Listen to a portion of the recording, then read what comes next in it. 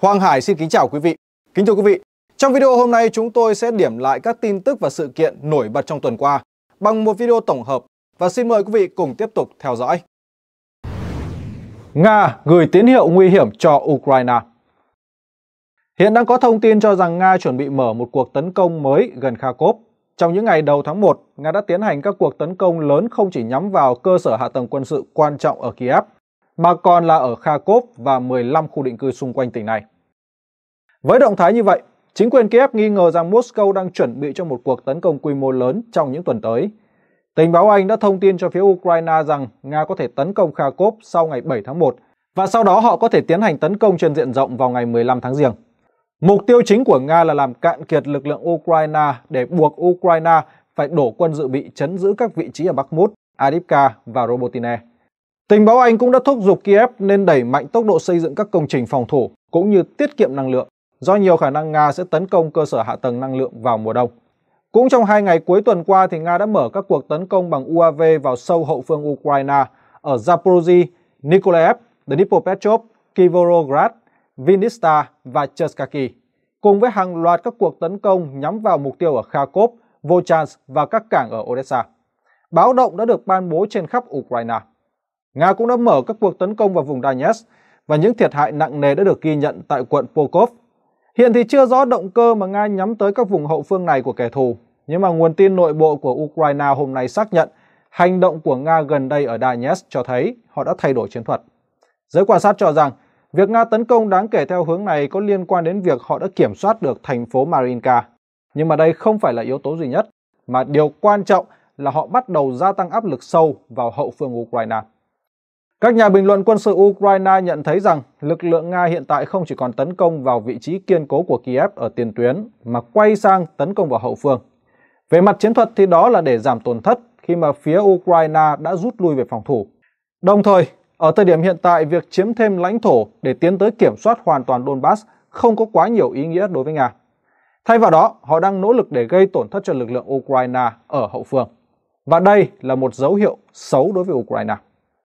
Hãng tin MK đã dẫn lời chuyên gia phân tích người Anh Alexander Mercuris tiết lộ hậu quả do hai cuộc tấn công của Nga vào hôm 29 tháng 12 và 2 tháng 1 gây ra đối với các mục tiêu chiến lược trọng yếu của Kiev, trong đó có các cơ sở công nghiệp quốc phòng gần thủ đô, đã bị phá hủy. Nhưng mà thảm khốc nhất chính là việc Nga đã tiêu diệt hai khẩu đội Patriot bảo vệ thủ đô của Ukraine. Ông này cũng nói rằng cuộc không kích không chỉ gây ra cú sốc đối với ban lãnh đạo quân sự Kiev, mà còn là với các đồng minh phương Tây. Cựu tư lệnh lực lượng đặc biệt Ukraine tướng Kivonos đã liên tục lên tiếng rằng Ukraine đang để mất các cơ sở sản xuất tên lửa mạnh nhất của nước này. Đồng thời, ông ấy chỉ trích không ai trong giới lãnh đạo Ukraine chịu trách nhiệm về những thiệt hại đó. Trong khi đấy thì Tổng tư lệnh Ukraine là tướng Zelensky đã phải gọi điện cho Tổng tư lệnh tối cao lực lượng NATO tại châu Âu là tướng Christopher Cavoli để báo cáo về tình hình khó khăn sau các cuộc tấn công của Nga. Mặc dù ông Zaluzny chấn an với Cavoli rằng tình hình ở mặt trận vẫn có thể kiểm soát được, đồng thời đã đề ra các biện pháp để đối phó với các cuộc tấn công tên lửa của Nga. Nhưng mà các nguồn tin dò dỉ từ nội bộ cho thấy tướng Zaluzny đã bị sốc trước những gì xảy ra trong những ngày qua. Ngày hôm qua đã có thêm các cảnh quay ở vùng Kherson cho thấy hậu quả các cuộc pháo kích của Nga dọc theo sông Dnieper. Truyền thông phương Tây gần đây đã đề cập nhiều đến tổn thất mà Ukraine phải gánh chịu chỉ để chiếm giữ được một mảnh đất nhỏ tại làng Greenkey. Trong khi những binh sĩ tham gia cuộc chiến không biết lý do vì sao mà họ phải lao vào địa ngục này. Binh sĩ Ukraine đối kháng tiêu cực tại Greenkey Đánh dấu tròn 3 tháng, phía Ukraine tổ chức chiến dịch thọc sâu vào vùng tả ngã sông Dnieper do Nga kiểm soát, hòng tiến sát tới ranh giới Crimea. Kênh truyền thông độc lập Strana đã có bài phỏng vấn với sĩ quan Ukraine giấu tên đang chấn giữ tại đầu cầu Grinky. Câu chuyện là một nỗi ám ảnh về địa ngục trần gian này. Họ kể lại rằng binh sĩ Ukraine bắt đầu tiến vào làng Krinky vào giữa tháng 10 năm ngoái với kế hoạch là kiểm soát được khu vực đầm lầy sát tả ngạn sông Dnieper. Ban đầu mọi thứ diễn ra tương đối tốt đẹp. Thậm chí, binh sĩ Ukraine đã tiến xa hơn làng Krinky tới khu rừng cận kề. Đồng nghĩa với việc họ tiến sát tới khu vực đóng quân của phía Nga, nhưng mà họ đột ngột nhận được lệnh phải quay trở lại làng Krinky để thiết lập một đầu cầu kiên cố tại đây. Họ cũng kể lại rằng lúc đó thì người Nga bị bất ngờ, buộc phải rút lui, nhưng mà đối phương bắt đầu tấn công trở lại bằng hỏa lực từ mọi phía. Có điều là Ukraine đã kịp đào chiến hào và điều động thêm nhiều thủy quân lục chiến tới làng Krinky để biến nơi đây trở thành một cứ điểm kiên cố. Nhưng mà kể từ giữa tháng 11 thì Nga bắt đầu gia tăng các cuộc tấn công tiêu diệt bằng pháo binh và bom FAB, cho nên hiện giờ làng Krinky không còn nơi nào để ẩn náu nữa. Sĩ quan Ukraine còn hé lộ rằng tâm lý binh sĩ tham gia chấn giữ đầu cầu này hiện đang rất tệ, do có nhiều người trong số họ từng tham gia vào cỗ máy xay thịt Bakhmut. Đáng nói là ở Krynky thì binh sĩ Ukraine không có đường rút lui bởi vì sau lưng họ là sông Dnieper. Do đó, nhiều binh sĩ Ukraine đã từ chối vượt sông, thậm chí là còn tự sát để không phải tham chiến. Giải thích cho những hành động tiêu cực như vậy, sĩ quan Ukraine cho rằng động cơ chính là do các binh sĩ đã chứng kiến kết cục bi thảm của đồng đội mình khi tuân lệnh vượt sông tới làng Krynky. Hàng trăm chiếc xuồng đã lặng lẽ xuất kích vào ban đêm, nhưng nhiều chiếc đã bị UAV của Nga đánh chìm khi còn chưa kịp cập bờ. Số còn lại thoát được lên bờ thì lập tức bị hỏa lực pháo binh Nga ồ ạt tấn công. Khó khăn không chỉ ở khâu vượt sông, mà vấn đề lớn hơn là làm thế nào để đưa thương binh liệt sĩ trở lại phần hữu ngạn. Thật là không may, sĩ quan Ukraine tiết lộ rằng họ không thể sơ tán 200 binh sĩ tử trận chỉ riêng trong một đợt tấn công. Và đó là lý do tại sao có rất nhiều thi thể binh sĩ Ukraine vẫn còn nằm lại ở bờ trái. Có một điều chớ trêu nữa là bản thân các sĩ quan và binh sĩ Ukraine cũng không hề biết mục tiêu chiến dịch mình tham gia là để làm gì. Sĩ quan Ukraine nói với phóng viên Strana như sau. Tại sao lại phải tiếp tục chiến đấu tại đầu cầu Krinky lúc này vẫn là một điều bí ẩn đối với tất cả chúng tôi. Có thể là Bộ Tổng tham mưu có một kế hoạch lớn hơn đối với Krinky. Truyền thông Nga viết rằng Bộ Chỉ huy của chúng tôi có kế hoạch tổ chức một cuộc vượt sông Dnieper quy mô lớn ở một nơi khác, và Krinky chỉ là nơi để đánh lạc hướng. Nhưng mà có phải như vậy hay không thì chúng tôi cũng không biết. Và nếu chỉ dùng để đánh lạc hướng quân Nga, thì cái giá mà chúng tôi đang phải trả là quá cao. Krinky đã trở thành một máy xay thịt lớn và chúng tôi không có cơ hội rút lui. Với những tin tức tiêu cực từ chiến trường và tổn thất nặng nề ở hậu phương, điều đó lý giải vì sao mà tướng Zelensky đang trở nên hoảng loạn. Mà tinh thần của Tổng thống Zelensky cũng không khá khẩm hơn, khi mà ông ta đang kỳ vọng các nghị sĩ Mỹ quay trở lại làm việc sau kỳ nghỉ lễ. Tuy nhiên, Quốc hội Mỹ trong những ngày đầu năm lại có lịch trình khá bận rộn, phải bàn thảo ngân sách chi tiêu để ngăn chặn nguy cơ chính phủ Mỹ đóng cửa vào ngày 19 tháng 1. Vì vậy, các khoản viện trợ dành cho Ukraine vẫn chưa được bàn tới. Đảng Cộng Hòa ra tối hậu thư cho ông Biden phải có chiến lược rõ ràng về Ukraine. Dù là Tổng thống Biden tiếp tục nhấn mạnh rằng chính quyền của ông sẽ hỗ trợ Ukraine miễn là còn cần thiết, nhưng Nhà Trắng cũng hiểu một thực tế đó là Kiev sẽ không nhận được một cắc bạc nào nếu như không có sự chấp thuận của Quốc hội Mỹ. Hãng tin AP vào hôm 6 tháng 1 đã dẫn lời Sananda Young là giám đốc văn phòng quản lý và ngân sách Nhà Trắng cho biết Tổng thống Biden không có cách nào khác để giúp Ukraine nếu như không được Quốc hội thông qua dự luật tài trợ bổ sung. Bà cũng cảnh báo rằng các đồng minh châu Âu đang theo dõi chặt chẽ động thái của Mỹ đối với việc đưa ra quyết định viện trợ cho Ukraine như thế nào, trong khi Nhà Trắng hiện đang phụ thuộc vào quyết định của Quốc hội. Bà này cũng cảnh báo rằng các đồng minh châu Âu đang theo dõi chặt chẽ động thái của Mỹ rồi mới đưa ra quyết định viện trợ cho Ukraine như thế nào. Trong khi đó, Nhà Trắng thì hiện đang phụ thuộc vào quyết định của Quốc hội.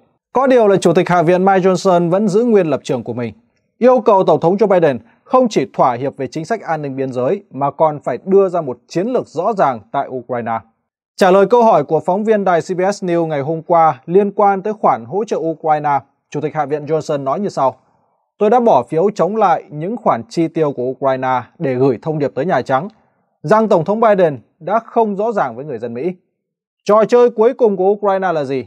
Chiến lược của chúng tôi là gì? Mục tiêu là gì? Làm thế nào chúng ta có thể giám sát đúng mức số tiền đóng thuế quý giá này? Tôi lưu ý là chúng ta đang nợ 34.000 tỷ đô la. Đây là một vấn đề rất nghiêm trọng. Để gửi tiền đến Ukraine hỗ trợ cho họ trong cuộc xung đột, chúng tôi thực sự phải vay tiền từ nơi khác. Do đó, chúng ta cần phải có trách nhiệm giải trình đối với người dân Mỹ, những người tài trợ cho việc đó. Nhà Trắng vẫn chưa đáp ứng được yêu cầu này. Tôi đã yêu cầu họ bằng văn bản qua các cuộc thảo luận công khai lẫn riêng tư, nhưng họ đã không làm được như vậy. Do đó, nếu như Tổng thống Biden không trả lời, chúng tôi rất khó để phê duyệt nguồn tài trợ cho Ukraine. Không những vậy thì Chủ tịch Hạ viện còn nêu bật sự khác biệt giữa Tổng thống Trump và ông Biden bằng cách nhấn mạnh rằng Quốc hội Mỹ sẽ ưu tiên việc đảm bảo an ninh biên giới Mỹ trước khi bảo vệ biên giới của bất kỳ nước nào khác. Ông nói như sau. Điều mà cựu Tổng thống Trump nỗ lực thúc đẩy là ưu tiên nước Mỹ trên hết. Tổng thống hiện tại Joe Biden cũng muốn bổ sung chi tiêu cho an ninh quốc gia, nhưng mà ông ấy lại phủ nhận điểm quan trọng nhất của an ninh quốc gia chúng ta chính là khu vực biên giới. Khi được hỏi liệu Hạ viện có thể thông qua được khoản viện trợ cho Ukraine vào tháng 2 tới hay không, ông Johnson không trả lời cụ thể mà nhắc lại rằng chừng nào Tổng thống Biden đáp ứng yêu cầu của Đảng Cộng Hòa thì họ mới giải quyết. Tôi nghĩ, nếu Nhà Trắng và Thượng viện nghiêm túc xem xét vấn đề an ninh biên giới mà họ lắng nghe người dân Mỹ thì họ sẽ hiểu sự cần thiết về những gì chúng ta đang yêu cầu họ. Chúng tôi phải kiên quyết bảo vệ đất nước của mình. Như vậy có thể thấy rằng, Ukraine đang trong thời kỳ đen tối nhất bởi vì ai cũng thừa hiểu, nếu không có nguồn tài trợ của Mỹ và đồng minh thì Ukraine đã thua trận từ lâu rồi. Hiện thì xu hướng cắt giảm viện trợ Ukraine đang càng ngày càng phổ biến ở các quốc gia phương Tây. Cuộc thăm dò gần đây cho thấy 1 phần 3 cử tri, tức là tương đương với 30 đến 37% ở các bang giao động quan trọng của Mỹ như là Arizona, Florida, Georgia, Michigan, North Carolina và Pennsylvania ủng hộ việc cắt giảm hỗ trợ quân sự cho Kiev. Trong số cử tri ở 6 bang giao động này, có nhiều người ủng hộ quan điểm về cuộc xung đột Ukraine của Trump. Khi mà cựu Tổng thống Mỹ tuyên bố rằng ông sẽ chấm dứt xung đột ngay lập tức nếu thắng cử. Cũng tại 5 trên 6 bang này, nhiều cử tri cho rằng nếu như ông Trump thắng cử năm 2020 thì xung đột giữa Nga và Ukraine đã không xảy ra. Có thể nói rằng cuộc bầu cử Tổng thống Mỹ 2024 thu hút được sự chú ý của toàn thế giới bởi vì nó mang tính quyết định đối với các vấn đề địa chính trị lớn, có thể xoay chuyển thế cục ở Ukraine, Gaza và khu vực châu Á-Thái Bình Dương. Nga công bố thông tin về Joe Biden Ngày 4 tháng 1, hai ngày trước lễ kỷ niệm 3 năm sự cố 6 tháng 1 ở Điện Capitol, Tổng thống đương nhiệm của Đảng Dân Chủ Joe Biden đã phát hành một video quảng cáo tranh cử. Trong video quảng cáo thì ông ám chỉ hơn 75 triệu người Mỹ đã bỏ phiếu cho cựu Tổng thống Trump trong cuộc bầu cử năm 2020 là những kẻ cực đoan, cực hữu. Nói thẳng ra thì Tổng thống Biden và Đảng Dân Chủ tiếp tục coi sự kiện 6 tháng 1 là một cuộc nổi dậy, đe dọa nền dân chủ của nước Mỹ. Vào ngày 6 tháng 1, ông Biden đã mở đầu chiến dịch tranh cử của mình tại bang chiến trường quan trọng Pennsylvania. Tại đây, ông gọi đối thủ tiềm năng nhất trong cuộc bầu cử, cựu Tổng thống Donald Trump là mối đe dọa đối với nền dân chủ Mỹ vì đã xúi dục cuộc nổi loạn ngày 6 tháng 1, 2021. Tổng thống Biden đã gọi ông Trump và những người ủng hộ ông là những kẻ ngoại lệ nguy hiểm và yêu cầu các đảng viên Dân Chủ, những cử tri độc lập và cử tri Cộng hòa chính thống hãy ủng hộ ông. Ông bôi bác sự kiện ngày 6 tháng 1 cách đây 3 năm là nỗ lực bám víu quyền lực của ông Trump sau khi đã thất bại trong cuộc tái tranh cử. Trong khi đó, cũng tại một sự kiện tổ chức tại bang Iowa vào hôm 6 tháng 1, cựu Tổng thống Donald Trump đề cập đến sự kiện ngày 6 tháng 1 với một góc nhìn hoàn toàn khác. Theo ông Trump, cuộc biểu tình đó là hệ quả tất yếu của một cuộc bầu cử gian lận, dẫn đến việc ứng cử viên Đảng Dân Chủ Joe Biden được tuyên bố là người chiến thắng. Ông Trump cũng tuyên bố rằng giới cầm quyền Mỹ đã làm một điều không thể tưởng tượng được đối với ông. Họ truy tố ông vì đã đấu tranh chống lại những cuộc bầu cử tham nhũng. Trump cũng dự đoán rằng càng tiến tới giai đoạn bầu cử, tình hình sẽ càng ngày càng trở nên tồi tệ hơn đối với ông. Đảng Dân Chủ sẽ truy lùng các nghị sĩ Đảng Cộng Hòa có quan điểm gần gũi với Trump. Ông ấy nói, họ sẽ truy đuổi các thượng nghị sĩ của chúng ta. Đó là những gì mà họ đang làm. Đảng Dân Chủ đang vũ khí hóa chính phủ hơn bao giờ hết. Đúng vào thời điểm bầu cử quan trọng này, ông Trump đang phải đối mặt với hàng loạt các vụ kiện cáo. Chính tờ Politico mới đây cũng ngầm thừa nhận các trò chơi chính trị của Đảng Dân Chủ nhắm vào đối thủ của họ như sau. Tổng thống Biden khởi đầu năm 2024 với những thuận lợi mà bất kỳ một tổng thống nào cũng phải ghen tị, và đối thủ của ông là Donald Trump đang quay cuồng với 91 cáo buộc nghiêm trọng trong 4 cáo trạng riêng biệt. Tuy nhiên, đối với những cử tri ủng hộ Trump, họ nói rằng sự kiện ngày 6 tháng 1 có ý nghĩa đối với họ. Họ cũng cho biết Họ muốn đưa Tổng thống Trump trở lại Nhà Trắng vì họ tin tưởng ông sẽ khắc phục tình trạng nhập cư bất hợp pháp, lạm phát gia tăng và những tai ương khác do Tổng thống Biden gây ra cho nước Mỹ. Hạ nghị sĩ bang Iowa Mark Sinneros nói rằng sự kiện ngày 6 tháng 1 cách đây 3 năm là lời nhắc nhở về lý do tại sao mà chiến dịch tranh cử của ông Trump vào năm 2024 lại quan trọng đến như vậy. Bởi vì chính quyền Biden đang cho thấy họ nguy hiểm như thế nào đối với người dân Mỹ. Vị nghị sĩ này coi một số người Mỹ bị truy tố liên quan đến ngày 6 tháng 1 là tù nhân chính trị. Tại Mỹ hiện tại đang diễn ra một cuộc thanh trừng ngầm đối với bất cứ ai vẫn còn nghi vấn về kết quả cuộc bầu cử năm 2020. Tuy nhiên, đa số cử tri bỏ phiếu cho ông Trump và các đảng viên Cộng hòa bảo thủ đều coi đây là cuộc bầu cử gian lận. Đáng nói là, trong cuộc phỏng vấn với CBS News vào ngày hôm qua, Chủ tịch Hạ viện Johnson cũng thẳng thắn đề cập đến vấn đề như sau. Tổng thống Biden đã được chứng nhận là người chiến thắng cuộc bầu cử Ông ấy đã tuyên thệ nhậm chức, ông ấy đã làm tổng thống được 3 năm. Nhưng lập luận mà chúng tôi trình bày trước tòa đó là hiến pháp đã bị vi phạm rõ ràng trong cuộc bầu cử 2020. Hiến pháp đã bị vi phạm trong thời gian diễn ra cuộc bầu cử 2020 và không phải lúc nào cũng có ý đồ xấu, nhưng do hậu quả của Covid, nhiều bang đã thay đổi luật bầu cử dẫn đến vi phạm, đó là sự thật. Ông ấy cũng kỳ vọng rằng cựu Tổng thống Trump sẽ thắng cử trước Biden vào năm 2024 như sau. Tôi tin vào sự nghiêm minh của pháp luật. Tôi làm việc với Biden với tư cách là Tổng thống Hoa Kỳ. Tôi đang cố gắng hết sức để đảm bảo rằng ông ấy chỉ nên làm Tổng thống một nhiệm kỳ. Bởi vì tôi tin rằng ông ấy đã thất bại thảm hại với cương vị là Tổng tư lệnh của đất nước chúng ta. Điều đáng ngạc nhiên là trong khi Đảng Dân Chủ tìm mọi cách trừng phạt đồng minh và luật sư của Trump do đã đặt nghi vấn về sự gian lận phiếu bầu năm 2020, thì người Nga lại công bố tin tức chấn động về chiến thắng của ông Biden năm 2020. Đó là Nga công khai dạy học sinh của mình rằng cuộc bầu cử Tổng thống Mỹ 2020 đã bị đánh cắp. Tờ Newsweek vào hôm 26 tháng 12 viết như sau. Sách giáo khoa mới dành cho học sinh Nga tuyên bố rằng ông Trump đã thua cuộc bầu cử Tổng thống năm 2020 là do Đảng Dân Chủ gian lận phiếu bầu cử tri. Những hình ảnh trong cuốn sách lịch sử này được cho là của học sinh lớp 11 đã được lan truyền trên mạng xã hội những ngày gần đây. Tờ Newsweek cũng thừa nhận Trump bị chỉ trích vì dành nhiều lời khen ngợi cho Tổng thống Nga Vladimir Putin, hoặc ông đã lên án việc Putin tấn công Ukraine. Một số nhà phân tích Nga cho rằng Điện Kremlin có thể thích Trump giành chiến thắng vào năm 2024 hơn là Biden. Nga đang gia tăng tấn công trong vòng 24 giờ qua, Nga đã thực hiện 55 đợt tấn công tên lửa, 16 đợt không kích và 16 đợt tấn công từ hệ thống tên lửa phóng loạt vào các vị trí của Ukraine. Điều này đã được Bộ Tổng tham mưu Ukraine xác nhận trong báo cáo buổi tối hàng ngày. Phía Nga tiếp tục tấn công vào các mục tiêu của đối phương ở Kharkov, Dnipropetrovsk, Khmelnytsky, Zaporozhye và Odessa. Tuy nhiên, phía Kiev lần này đã tiết chế không phóng đại về khả năng của hệ thống phòng không.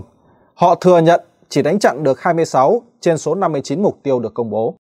Trong khi đó, giao tranh ác liệt vẫn đang tiếp diễn theo hướng Donetsk gần Adivka. Lực lượng Nga đang nỗ lực để tăng cường kiểm soát hai bên sườn tại Pevomayovsky và Ocheretino.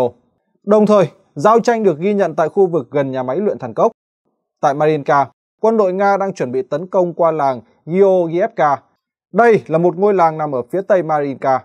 Hướng này sẽ dẫn tới Kurakovo, đây là trung tâm hậu cần và quốc phòng lớn của Ukraine. Cũng từ Georgievka thì Nga có thể tấn công từ sườn phía nam Krasnogorovka, khu vực kiên cố của Ukraine ở phía tây Donetsk. Ở gần Bakhmut, Nga đã chiếm được một vị trí ở ngoại ô của Kromov. Còn tại Kherson thì Nga đang nỗ lực để đánh bật thủy quân lục chiến Ukraine ra khỏi các đầu cầu ở tả ngạ sông Dnipro. Chỉ riêng trong ngày qua, họ đã thực hiện 9 đợt tấn công và gây tổn thất đáng kể cho đối phương.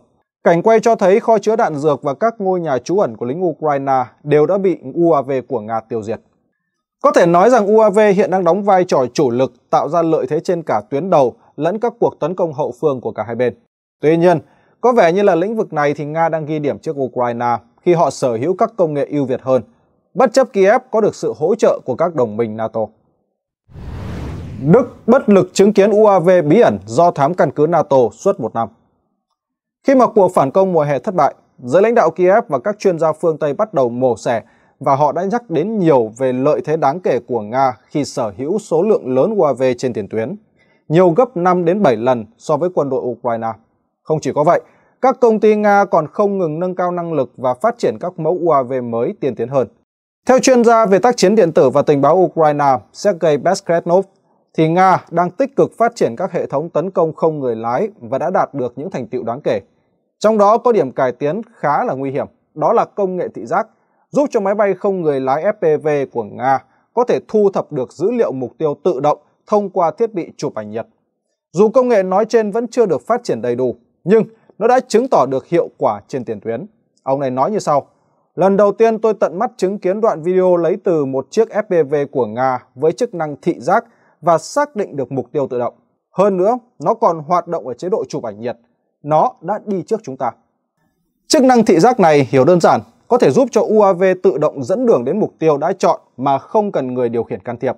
Nhờ đó, nó có thể không bị ảnh hưởng bởi các hệ thống tác chiến điện tử do không cần phải tương tác với người điều khiển qua sóng điện tử. Với công nghệ này, UAV FPV sẽ tự làm mọi việc và sẽ trở thành phương tiện hủy diệt hiệu quả. Nó tạo ra một mối nguy hiểm mới cho đối phương ở bốn yếu tố sau. Thứ nhất là nó khiến cho các hệ thống tác chiến điện tử trở nên vô dụng. Thứ hai là không cần người điều khiển UAV có kinh nghiệm để vận hành chiếc UAV này. Thứ ba là nó giúp tăng gấp đôi thời gian và phạm vi bay so với UAV thông thường. Và cuối cùng, UAV FPV trở thành cơn ác mộng đối với các mục tiêu đang chuyển động, nhờ khả năng bắn trúng mục tiêu đang di chuyển chính xác hơn. Với tất cả những yếu tố trên, chuyên gia công nghệ Ukraine Beskenov thú nhận rằng hiệu quả tàn sát của FPV làm ông rất lo lắng. Có thể nói, truyền thông phương Tây đã thay đổi cách đưa tin về cuộc xung đột Ukraine kể từ tháng 9 năm ngoái. Sau khi mà Kiev thất bại trong cuộc phản công mùa hè, thời điểm này, hầu như không có tuần nào mà truyền thông phương Tây không có một bài phê bình sắc lẹm về tình hình chiến trường và nội bộ của Ukraine. Tờ New York Times vào ngày hôm qua đăng tải bài viết có tiêu đề là Kiệt sức, phòng thủ và ở cổng địa ngục của Ukraine. Bài viết này kể về binh sĩ Ukraine đang kiệt quệ ngay cả khi đã rút lui về phòng thủ trên tiền tuyến dài 600 dặm. Lực lượng Nga không cần dùng tới bộ binh mà vẫn đang tìm cách kéo họ ra khỏi các vị trí ẩn nấp kiên cố để tiêu diệt. Tờ này cho biết, người Nga đang dùng mưu mẹo tạo ra âm thanh giống hệt như là UAV đang nhắm bắn mục tiêu, khiến cho binh sĩ Ukraine nghĩ rằng họ đang bị tấn công cho nên vội vã rời khỏi chiến hào và để lộ vị trí của mình. Bằng thủ thuật này thì ngay sau đó, Nga sẽ sử dụng UAV FPV để tiêu diệt binh sĩ đang bỏ chạy, cũng như là các thiết bị bị bỏ lại trên tiền tuyến. Không chỉ có binh sĩ Ukraine hoảng loạn với bầy UAV của Nga, mà ngay cả người Đức cũng đang hoang mang khi họ phát hiện một số UAV bí ẩn đã do thám các căn cứ quân sự của họ trong suốt hơn một năm trời. Điều đáng nói là các UAV này xuất hiện ở các cơ sở huấn luyện binh sĩ Ukraine. Do đó, nó làm dấy lên mối lo ngại về khả năng có hoạt động gián điệp. Tờ Bill của Đức cho biết rằng, kể từ tháng 10 năm 2022, họ đã phát hiện số lượng UAV không rõ nguồn gốc đang hoạt động tích cực ở những nơi quân đội Đức huấn luyện người Ukraine. Tư lệnh quân đội Đức lúc bấy giờ là tướng Carsten Bauer đã chỉ thị cho lực lượng an ninh quân sự sử dụng máy gây nhiễu HP-47 nhằm bắn hạ những UAV bí ẩn này. Tuy nhiên, nỗ lực đó đã thất bại và các UAV đã bay thoát. Markus Faber, phát ngôn viên chính sách quốc phòng của Đảng Dân Chủ Tự do Đức đã chỉ đích danh một số UAV xuất hiện tại căn cứ quân sự, là có tổ chức và chỉ có thể là của người Nga. Hiện thì các chính trị gia ở Berlin coi việc quân đội Đức để UAV lạ xâm nhập suốt hơn một năm qua là một điều không thể chấp nhận được. Andreas Qua là phát ngôn viên quốc phòng của Đảng Dân Chủ Xã hội, chỉ trích gay gắt Bộ trưởng Quốc phòng Peterius vì ông ta tỏ ra như chẳng có chuyện gì xảy ra trong suốt một năm. Có điều là mặc dù Bộ Quốc phòng Đức nghi ngờ Nga đứng đằng sau vụ UAV do thám, nhưng mà họ lại không tìm ra được một bằng chứng buộc tội nào. Phát ngôn viên Bộ Quốc phòng Đức Neil Himmers đã phải thừa nhận trước Quốc hội Đức rằng cho đến nay, Đức không thể bắt giữ được UAV hoặc người điều khiển nó. Vào ngày 14 tháng 11 vừa qua thì quân đội Đức đã phải thành lập một lực lượng đặc nhiệm để phát hiện máy bay không người lái. Như là phát ngôn viên Bộ Quốc phòng Đức Neil Heimer đã giải thích trước các nghị sĩ Đức rằng lực lượng đặc nhiệm này trước tiên phải điều tra xem ai là người chịu trách nhiệm để UAV lạ xâm nhập nhiều lần căn cứ NATO, cũng như điều tra xem các thiết bị phòng thủ chống UAV đang hoạt động kém hiệu quả như thế nào. Nhưng mà tờ Bill cho biết là sau 2 tháng điều tra thì cho đến nay vẫn chưa có kết quả rõ ràng. Có vẻ như là các thiết bị tối tân chống UAV của Đức đã bất lực trước UAV do thám được cho là của người Nga trong suốt hơn một năm. Vậy thì liệu F-16 có làm nên được trò chống gì trong việc giúp Ukraine chống lại Nga hay không? F-16 cũ kỹ dành cho đào tạo hay chiến đấu? Reuters vào hôm 2 tháng 1 đưa tin Na Uy đã tặng hai máy bay chiến đấu F-16 cũ để hỗ trợ đào tạo phi công Ukraine. Những chiếc máy bay này đã phục vụ hơn 40 năm trong quân đội Na Uy và được điều động tới căn cứ không quân Skytrop ở Đan Mạch. Động thái này là một phần của sáng kiến đào tạo, trong đó Na Uy cũng cử thêm 10 giảng viên đến hỗ trợ. Chính phủ Na Uy làm rõ rằng hoạt động này chỉ nhằm mục đích là hỗ trợ Ukraine đào tạo phi công. Vào tháng 8 năm 2023, chính quyền của ông Biden ban đầu do dự cung cấp F-16 cho Ukraine và chỉ chấp thuận chuyển giao cho bên thứ ba với điều kiện là bên thứ ba phải hoàn thành khóa đào tạo phi công cho Kiev. Với yêu cầu này, phải chăng là chính quyền ông Biden muốn hàm ý với giới lãnh đạo Kiev rằng Mỹ sẽ gửi cho Kiev những món đồ tuyệt vời nhưng chỉ khi Ukraine hứa là sẽ không làm sứt mẻ chúng. Và liệu có phải là Tổng thống Biden đang coi việc chuyển giao F-16 cho Ukraine giống như là một ván cược, chờ đợi thời điểm hoàn hảo thì mới tung quân bài này? Có điều, giống như là các thành viên NATO khác, dù Na Uy nhấn mạnh cam kết bảo vệ Ukraine, nhưng mà họ cũng tranh thủ để đẩy đi các món vũ khí đã có 40 năm tuổi đời. Phải chăng là những món máy bay đã đủ tuổi nghỉ hưu theo tiêu chuẩn hàng không này lại trở thành món quà vô giá mà Na Uy dành tặng cho Ukraine? Cũng cần phải lưu ý là Trung tá Bart Parker, chỉ huy phái đoàn huấn luyện ở Đan Mạch, đã tuyên bố rằng mặc dù F-16 tương đối hiện đại và đã được nâng cấp nhưng mà chúng cũng không phải là giải pháp thay thế cho cuộc chơi giữa Kiev và Moscow. Trong khi đó, Phó giáo sư Lars Peder Haga tại trường không quân Na Uy cũng gọi F-16 là lỗi thời, nhấn mạnh rằng chúng khó có khả năng sống sót khi đối đầu với các tiêm kích hiện đại của Nga. Bất chấp lời kêu gọi thống thiết của Kiev là hãy cung cấp các vũ khí tiên tiến, thì các đồng minh NATO vẫn tiếp tục gửi đến đây những loại khí tài cổ lỗ sĩ. Còn nhớ thì trong một tuyên bố gần đây, Ngoại trưởng Đức Alanena Baerbock đã công khai thừa nhận rằng xe tăng Leopard 1 được gửi đến Ukraine đã lỗi thời. Điều này cũng bộc lộ sự thiếu nghiêm túc của các thành viên NATO trong việc hỗ trợ Ukraine. Nó cho thấy có một số đối tác phương Tây đang miễn cưỡng viện trợ chứ không hề tự nguyện như là một số cường quốc khác trong khối. Nhân nói về sự năng nổ của các cường quốc thì chúng ta không thể không nhắc tới Anh với sự hỗ trợ nhiệt tình của họ cho cuộc chiến Ukraine. Tuy nhiên, bản thân quân đội Anh cũng đang tiến tới giai đoạn mục ruỗng. Quân đội Anh đang tự gây trò cười. Tờ Independent của Anh mới đây đã đưa tin, Hải quân Hoàng gia Anh đã đăng thông báo tuyển dụng vị trí đô đốc để điều hành tàu ngầm của Anh. Một điều đáng nói là thông báo tuyển dụng một vị trí cực kỳ trọng yếu như vậy lại được đăng tải trên mạng xã hội. Tờ này viết như sau. Việc Hải quân Hoàng gia buộc phải quảng cáo tuyển dụng cho một vị trí quan trọng như vậy trên mạng xã hội đã bị mô tả là cực kỳ đáng xấu hổ. Các chỉ huy hải quân đã đăng quảng cáo tuyển dụng vị trí chuẩn đô đốc với mức lương là 150.000 bảng Anh một năm trên link vào tháng 12 khi mà Hải quân Anh không thể tìm kiếm được nhân sự nội bộ phù hợp. Sự việc này xảy ra khi cựu Bộ trưởng Quốc phòng Ben Wallace cảnh báo rằng lực lượng vũ trang của Anh đang phải đối mặt với một cuộc khủng hoảng tuyển dụng bởi vì thế hệ Gen Z không đăng ký tham gia quân đội. Ứng cử viên được chọn sẽ chỉ huy các tàu ngầm và sẽ chịu trách nhiệm về những hoạt động tinh nhuệ, cũng như khả năng răn đe hạt nhân của quốc gia. Như vậy thì có thể thấy, với việc phải đăng tuyển đô đốc trên mạng xã hội, quân đội Anh đang bộc lộ một vấn đề nghiêm trọng. Hiện tại thì không có một ai trong Hải quân Hoàng gia Anh có đủ năng lực và trình độ để chỉ huy các tàu ngầm, vốn là hệ thống chuyên trở vũ khí hạt nhân chính của Vương quốc Anh. Điều này cũng đã được chính tờ The Times xác nhận. Họ cho biết quảng cáo tuyển dụng này là chưa từng có mà nguyên nhân chính là do Hải quân Anh không thể tìm ra được ứng cử viên phù hợp trong nội bộ. Trong khi đó, một cựu thủy thủ tàu ngầm cấp cao cho biết rằng quảng cáo tuyển dụng này là đáng xấu hổ và người duy nhất đến nộp đơn đăng ký ứng cử viên là một kỹ sư vũ khí không đủ tiêu chuẩn. Sự việc này chắc chắn sẽ được người Nga chú ý. Vương quốc Anh đã từng nổi tiếng với một lực lượng hải quân hùng hậu, từng thống trị thế giới. Nhưng mà hiện giờ, nước này không thể tuyển đủ quân số thủy thủ để phục vụ trong các hạm đội nhỏ bé của mình. Trong khi đó thì nhóm tàu tác chiến của họ lại thường xảy ra hỏng hóc. Tờ Independent hé lộ rằng Hải quân Hoàng gia buộc phải ngừng hoạt động hai tàu chiến HNF Westminster và SNF Garrill vì có quá ít thủy thủ trong biên chế để vận hành chúng. Không chỉ không thể tuyển đủ số lượng thủy thủ, mà người Anh còn phải vật lộn trong việc nâng cấp các chiến hạm của mình. Hàng không mẫu hạm đang mắc phải những lỗi kỹ thuật có nguy cơ không thể ra khơi nếu chiến tranh nổ ra. Tờ Telegraph vào hôm tháng 8 năm 2022 viết như sau. Chiến hạm HMS Prince of Wales trị giá 3 tỷ bảng Anh đang bị tháo rỡ các bộ phận sau sự cố cơ học lớn. Tàu sân bay bị hỏng sau khi phát hiện ra các vấn đề kỹ thuật tập trung vào cánh quạt bên mạn phải – Chân vịt của nó cũng được thay thế vì đang gặp phải vấn đề tương tự. Một số bộ phận của chiến hạm này được tháo rỡ và sẽ dùng làm phụ tùng thay thế cho một con tàu tương tự đang hoạt động. Rõ ràng rằng, khi quân đội Anh không thể bảo dưỡng và sửa chữa tàu của mình đúng cách, thì đó là thời điểm danh tiếng hải quân của họ đang chìm dần vào quên lãng.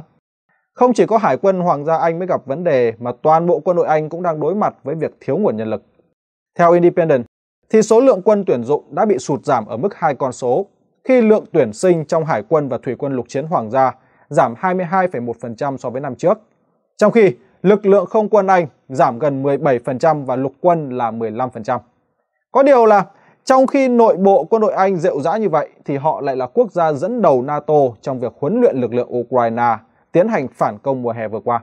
Vì vậy mà không có gì đáng ngạc nhiên khi quân đội Ukraine bị người Nga áp đảo. Trong bối cảnh Hải quân Anh muối mặt dùng mạng xã hội để tìm kiếm nhân sự trọng yếu thì dư luận Mỹ cũng đang rúng động về việc Bộ trưởng Quốc phòng nước này bí mật nằm viện gần cả tuần, mà Tổng tư lệnh của họ là Joe Biden không hề hay biết.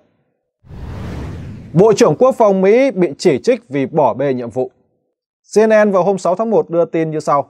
Tổng thống Mỹ Joe Biden đã không biết trong nhiều ngày rằng Bộ trưởng Quốc phòng Lloyd Austin đã phải nhập viện. Cố vấn an ninh quốc gia Jack Sullivan cuối cùng cũng đã thông báo cho ông Biden vào chiều hôm thứ Năm ngày 4 tháng 1, ngay sau khi chính ông này nhận được thông tin Austin đã phải nhập viện. Ông Austin nhập viện gần đây là do biến chứng của một ca phẫu thuật. Trong khi đó, tờ Politico tiết lộ thêm rằng cố vấn an ninh quốc gia Jack Sullivan đã phát hiện ra điều bất thường này là do trong một cuộc họp ở Nhà Trắng vào tuần trước, ông không thấy có mặt Bộ trưởng Quốc phòng Lloyd Austin và một quan chức hàng đầu của Lầu Năm Góc là Saha Baker đã đi họp thay ông ấy. Lúc đó thì Nhà Trắng nghĩ rằng Bộ trưởng Austin có thể đang làm việc tại nhà và các trợ lý cấp dưới thường thay mặt sếp của họ. Nhưng mà có điều là cả Sullivan và Baker đều không biết vào lúc đó thì Bộ trưởng Austin đã phải nhập viện tại Trung tâm Quân y Quốc gia Waterred vì những biến chứng phẫu thuật không được tiết lộ. Như vậy thì có thể thấy rằng cả Nhà Trắng và Hội đồng An ninh Quốc gia đều không nhận được thông báo về sự vắng mặt của ông Austin, người đứng thứ 6 trong danh sách kế nhiệm vị trí Tổng thống. Tổng thống Biden đã không biết sự vắng mặt này ít nhất là 4 ngày và điều đó đã làm dấy lên nhiều nghi vấn về tính minh bạch trong chính quyền ông Biden. Chưa hết, câu hỏi mà công chúng Mỹ đang đặt ra là thời điểm Bộ trưởng Quốc phòng Mỹ vắng mặt bắt đầu từ lúc nào? Theo như thông tin chi tiết từ Trung tâm Y tế quân đội Waterred, thì vào ngày 22 tháng 12, ông Austin đã bị đau dữ dội, được đưa tới bệnh viện và thực hiện ca phẫu thuật trong ngày. Cho tới ngày 1 tháng 1, ông nhập viện và được đưa vào phòng chăm sóc đặc biệt do biến chứng từ ca phẫu thuật trước đó. Một số nghị sĩ quốc hội đã đặt ra câu hỏi là ai đã điều hành Bộ Quốc phòng trong thời gian ông Austin nhập viện và ai cho phép một cuộc tấn công bằng UAV của Mỹ ở Baghdad vào tuần trước giết chết thủ lĩnh của lực lượng dân quân được Iran hậu thuẫn. Politico cho biết rằng vụ nhập viện bí mật của Bộ trưởng Austin khi được đưa ra ánh sáng đã biến thành một thảm kịch nhấn chìm chính quyền Biden.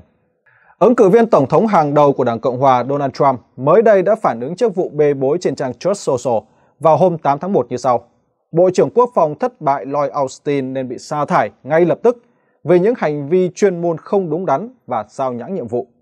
Ông ấy đã mất tích được một tuần và không một ai kể cả sếp của ông ấy là Joe Biden có bất kỳ một manh mối nào về việc ông ta đang ở đâu.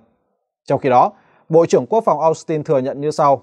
Tôi nhận thấy lẽ ra tôi có thể làm tốt hơn trong việc đảm bảo công chúng được cung cấp thông tin phù hợp. Rõ ràng rằng sự vắng mặt của Bộ trưởng Quốc phòng xảy ra đúng vào thời điểm khó khăn đang tới với nước Mỹ. Căng thẳng ở Trung Đông tăng vọt, khủng hoảng ở Biển Đỏ, các vụ đấu súng giữa Israel và Hezbollah càng ngày càng leo thang. Trong khi đó, sự ủng hộ của phương Tây đối với Ukraine suy yếu và có rất ít dấu hiệu cho thấy Quốc hội Mỹ sẽ thông qua hàng tỷ đô la để viện trợ quân sự nhiều hơn cho Kiev. Nó cũng là một cú đấm vào uy tín của ông Biden và năng lực điều hành nội các của ông ta trong năm bầu cử quan trọng này. Và chúng ta sẽ cùng tiếp tục chờ xem ông Biden xoay sở như thế nào để vượt qua thử thách này quý vị nhé. Kịch bản ác mộng đang trở thành hiện thực. Ukraine sắp hết đạn.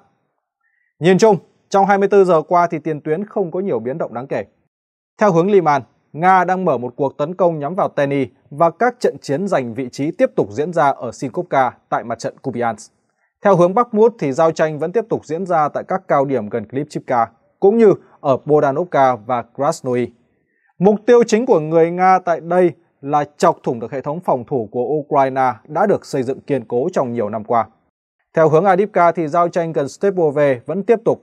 Phía Nga đã pháo kích liên tục vào thành phố này và họ cũng đang tiến vào khu vực Ocherentino nhằm mở rộng vùng kiểm soát dọc theo tuyến đường sắt. Hiện Nga đã tiến vào vành đai rừng cách Novomikhailovka vài km về phía nam nhưng vẫn chưa hoàn toàn kiểm soát được khu vực này. Theo hướng Zaporozhye, Nga tiến thêm được một chút về phía tây làng Vepove và chiếm được một số thành trì ở Robotine. Theo các nhà phân tích của kênh Warmapper, thì sau 22 tháng xung đột, hiện tại Nga đã chiếm được 17,48% lãnh thổ Ukraine.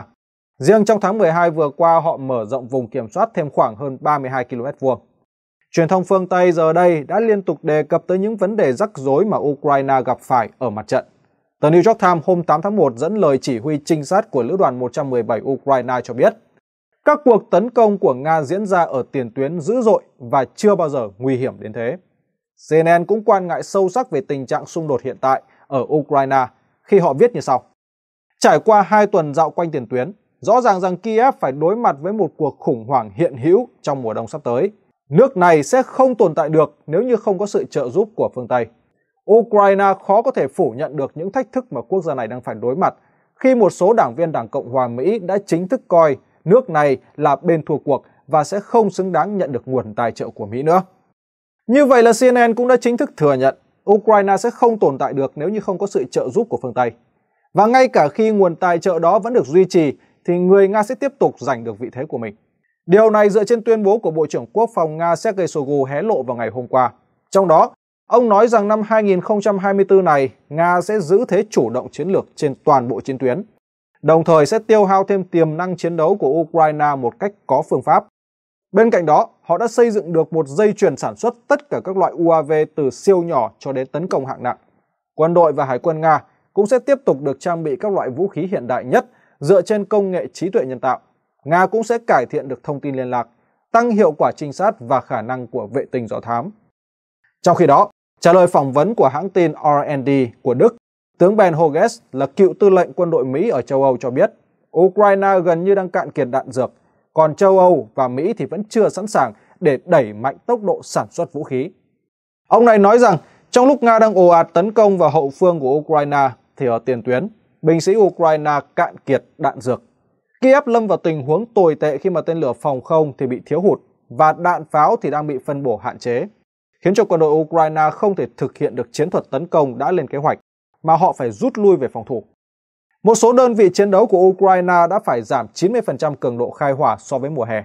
Mọi thứ ở Ukraine đều thiếu và các sĩ quan Ukraine không biết là họ có thể cầm cự được trong bao lâu.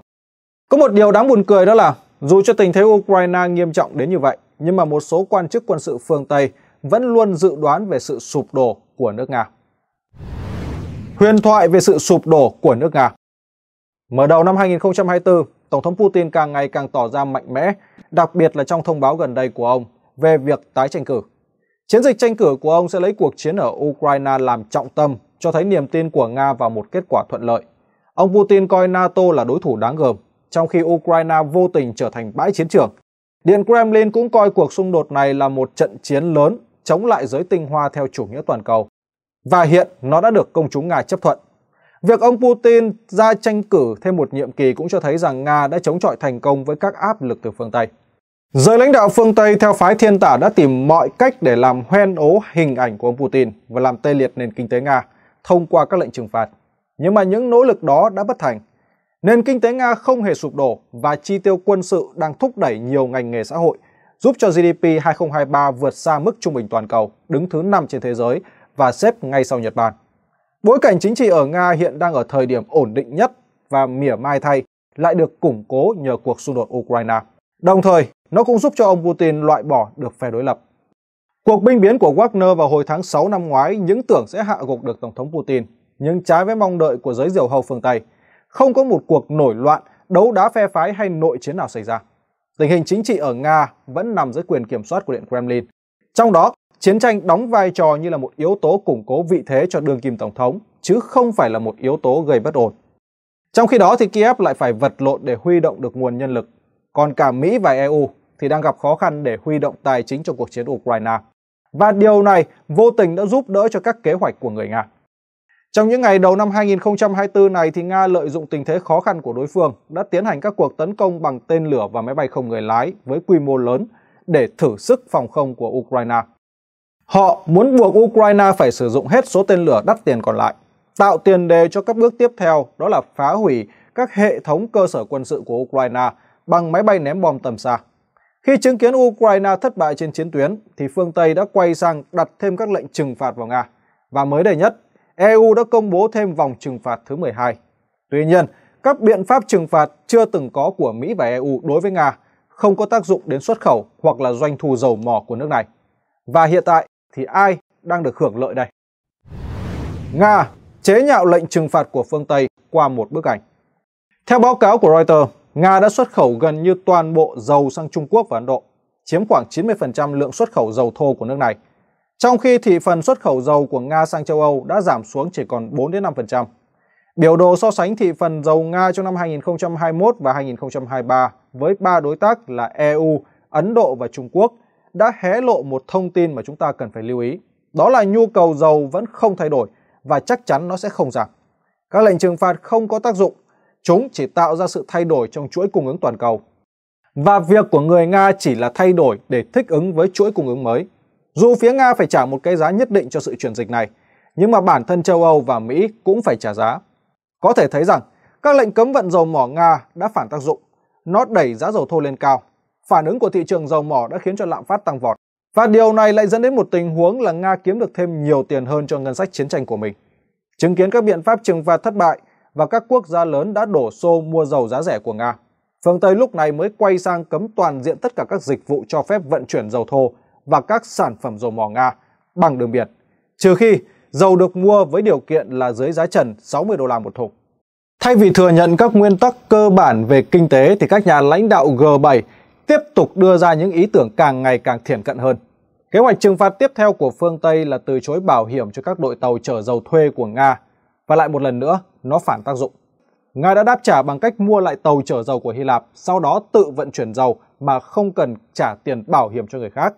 Nga cũng đã phát triển một đội tàu chở dầu bóng tối, chuyên chuyển dầu sang các tàu lớn của Trung Quốc vào lúc nửa đêm. Việc không phải trả tiền bảo hiểm khi sử dụng tàu của chính mình đã giúp cho Nga thu được lợi nhuận cao, ngay cả khi giá dầu Nga bị giới hạn bởi giá trần. Một lần nữa, lệnh trừng phạt không có tác dụng bởi vì chúng tạo ra thị trường mới cho Nga.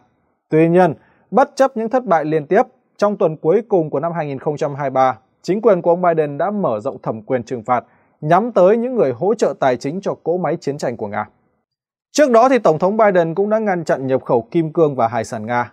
Nhưng kết quả thì cũng giống như dầu và khí đốt, nguồn hải sản của Nga đã được Trung Quốc mua vào và sau đó được xuất khẩu sang Mỹ với cái giá cao hơn nhiều. Tờ Alaska Public của Mỹ viết như sau. Tổng thống Joe Biden đã ký lệnh cấm nhập khẩu hải sản của Nga vào năm ngoái. Nhưng mà những mặt hàng trị giá hàng trăm triệu đô la này vẫn có thể lách lệnh cấm bằng cách chuyển hướng sang một quốc gia khác trước khi đến bờ biển nước Mỹ.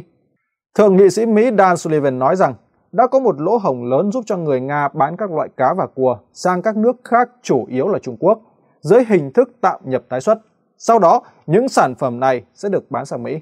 Còn trên mặt trận ngoại giao, Ngoại trưởng Ấn Độ đã phớt lờ áp lực của phương Tây để tới Moscow gặp Tổng thống Putin trong những ngày cuối cùng của năm cũ. Một lần nữa, Nga lại thắng trước nỗ lực cô lập Nga của phương Tây bằng cách xoay trục sang một quốc gia châu Á càng ngày càng hùng mạnh, đó là Ấn Độ. Tờ New York Times đã viết như sau, bất chấp những nỗ lực của chính quyền Biden nhằm khiến việc hỗ trợ Nga trở nên tốn kém, các quan chức Mỹ vẫn tránh chỉ trích Ấn Độ một cách công khai. Thay vào đó, Tổng thống Biden và các quan chức khác đã tán tỉnh Thủ tướng Ấn Độ Modi thậm chí còn chào đón ông tới dự một bữa tiệc cấp nhà nước vào mùa hè. Việc tán tỉnh đó vẫn tiếp tục ngay cả sau khi Mỹ cáo buộc các quan chức Ấn Độ vào tháng 11 về việc âm mưu ám sát một nhà hoạt động người Mỹ theo đạo Sikh ở Hoa Kỳ. Rõ ràng rằng, việc Nga hợp tác với Ấn Độ trong các vấn đề liên quan đến quốc phòng đã khiến Mỹ lo lắng nhưng không thể làm gì được, bởi vì Ấn Độ là đồng minh trong một số liên minh do Mỹ đứng đầu.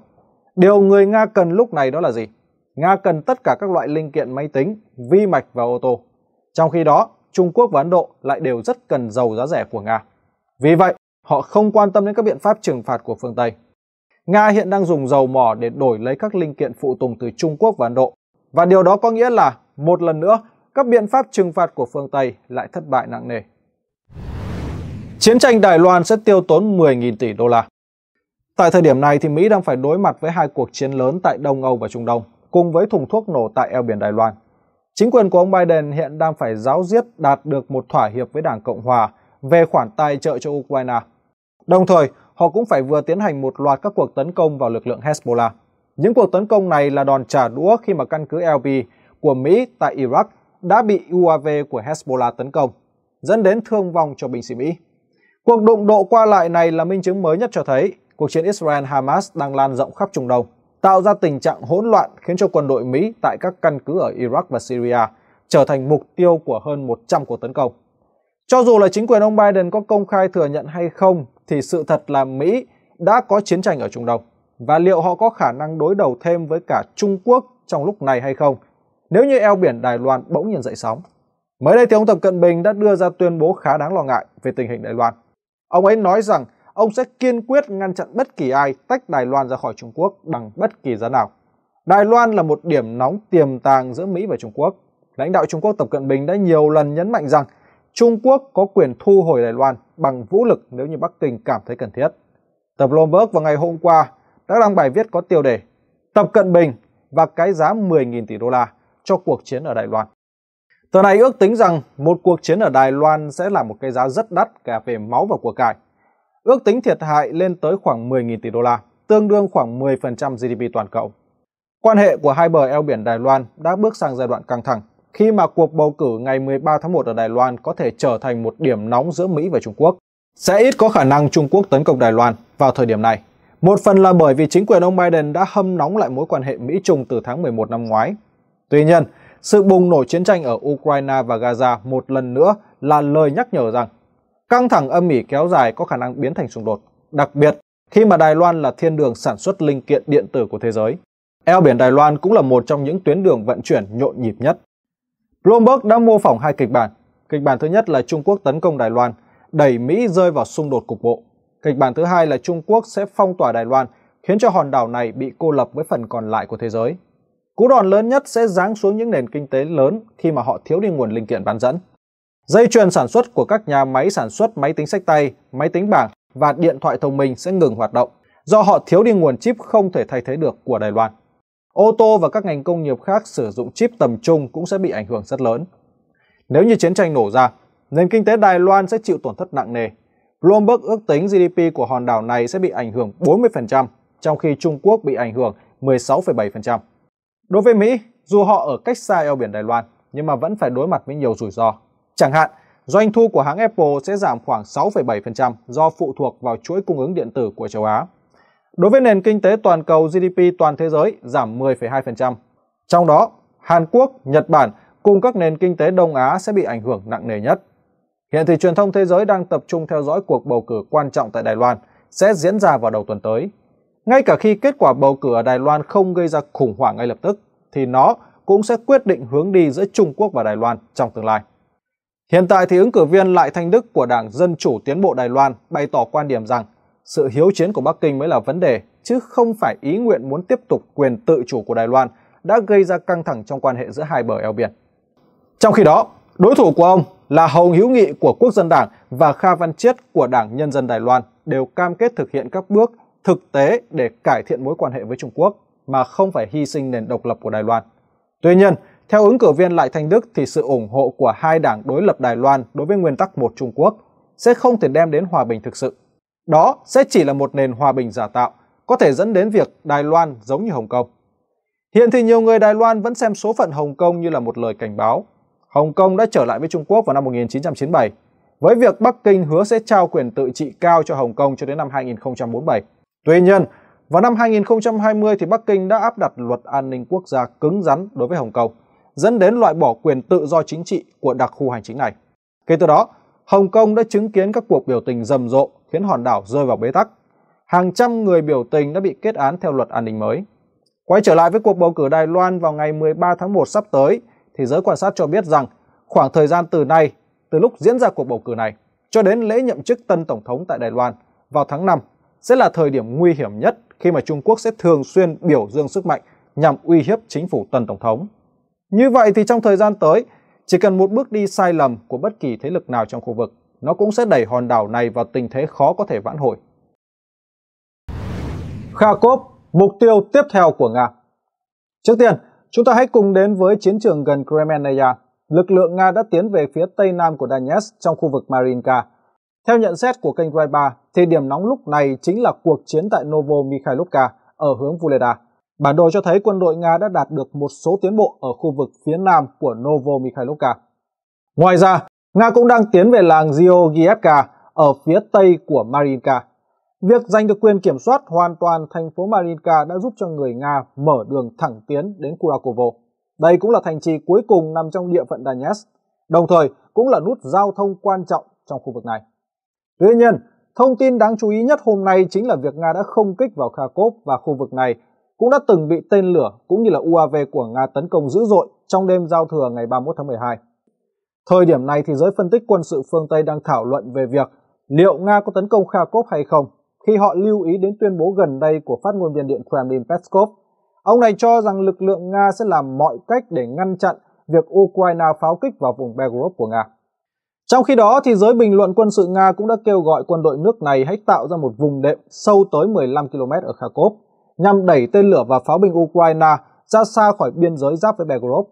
Tờ Telegraph của Anh cũng đã dẫn nguồn tin tình báo cho rằng Nga có thể mở một cuộc pháo kích quy mô lớn mới vào Kharkov và điều đó có thể xảy ra trong khoảng thời gian từ ngày 7 tháng 1 và một cuộc tấn công trên bộ có thể diễn ra sau đó vào ngày 15 tháng 1. Nhưng mà cho tới đêm ngày hôm qua, tức là ngày 10 tháng 1, thì Nga mới bắt đầu tấn công Kharkov và cũng không rõ là họ có mở cuộc tấn công trên bộ trong những ngày tới như là dự báo của tình báo Anh hay không. Trong khi đó, phát ngôn viên của lực lượng mặt đất Ukraine Vladimir Fyodor đã cho biết họ không nhận thấy bất kỳ một động thái điều động quân sự nào của Nga gần Kharkov.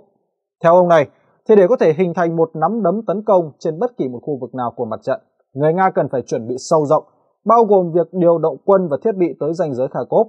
Và bất kỳ một động thái nào như vậy thì phía Ukraine đều có thể phát hiện kịp thời để đối phó.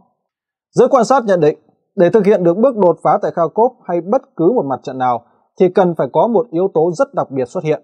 Chẳng hạn, một trong các bên tham chiến lâm vào tình huống bất ổn, binh sĩ suy sụp tinh thần hoặc có sự tham gia của một loại vũ khí mới đủ khả năng thay đổi cuộc chơi. Với những yếu tố trên thì lợi thế hiện đang nghiêng về phía Nga, bởi vì trên thực tế, họ có nhiều nguồn dự trữ hơn Ukraine. Và điều này đã trở nên rõ ràng hơn trong 3 tháng cuối năm 2023, khi mà từ bên phòng thủ, Nga đã phản công, còn ngược lại, Ukraine từ bên chủ động tấn công lại quay về phòng thủ. Hiện thì người Nga đang tấn công ở hầu hết mọi hướng với chiến thuật chậm rãi, họ nhích vài km mỗi tháng. Trong đó, giới quan sát ghi nhận tốc độ tấn công nhanh hơn một chút ở gần Bakhmut và chậm hơn một chút ở gần Donetsk. Cũng như Nga đang đẩy mạnh tấn công hủy diệt tại Zaporizhia. Càng ngày càng có nhiều quan điểm từ phương Tây cho rằng Ukraine không có cơ hội giành chiến thắng, nhưng Nga cũng không có cơ hội để tiến lên. Do đó, cuộc xung đột đang đi vào bế tắc và cách tốt nhất đó là đóng bằng xung đột. Nhưng mà quan điểm này vẫn là không chính xác. Nga chỉ mới bắt đầu tăng cường cỗ máy chiến tranh của mình và họ sẽ không phát động chiến tranh quy mô lớn nếu như đã xác định đó là một cuộc chiến tranh kéo dài. Hiện thì không rõ Tổng thống Putin đang toan tính điều gì và liệu ông ấy có ra lệnh tấn công Kharkov hay là Odessa hay không. Rõ ràng rằng Ukraine đã vượt qua khá nhiều lần ranh đỏ, đặc biệt là cuộc tấn công dữ dội nhất vào Belgorod và Crimea trong những ngày cuối cùng của năm vừa qua. Nó đã khiến cho dân thường Nga phải thiệt mạng. Tuy nhiên, giới quan sát vẫn nhận định Tổng thống Putin muốn tất cả các hành động của Nga đều phải trải qua một quá trình chứng minh trên trường quốc tế. Tức là các nước Nam bán cầu cần phải chứng kiến được sự điên cuồng của chính quyền Tổng thống Zelensky.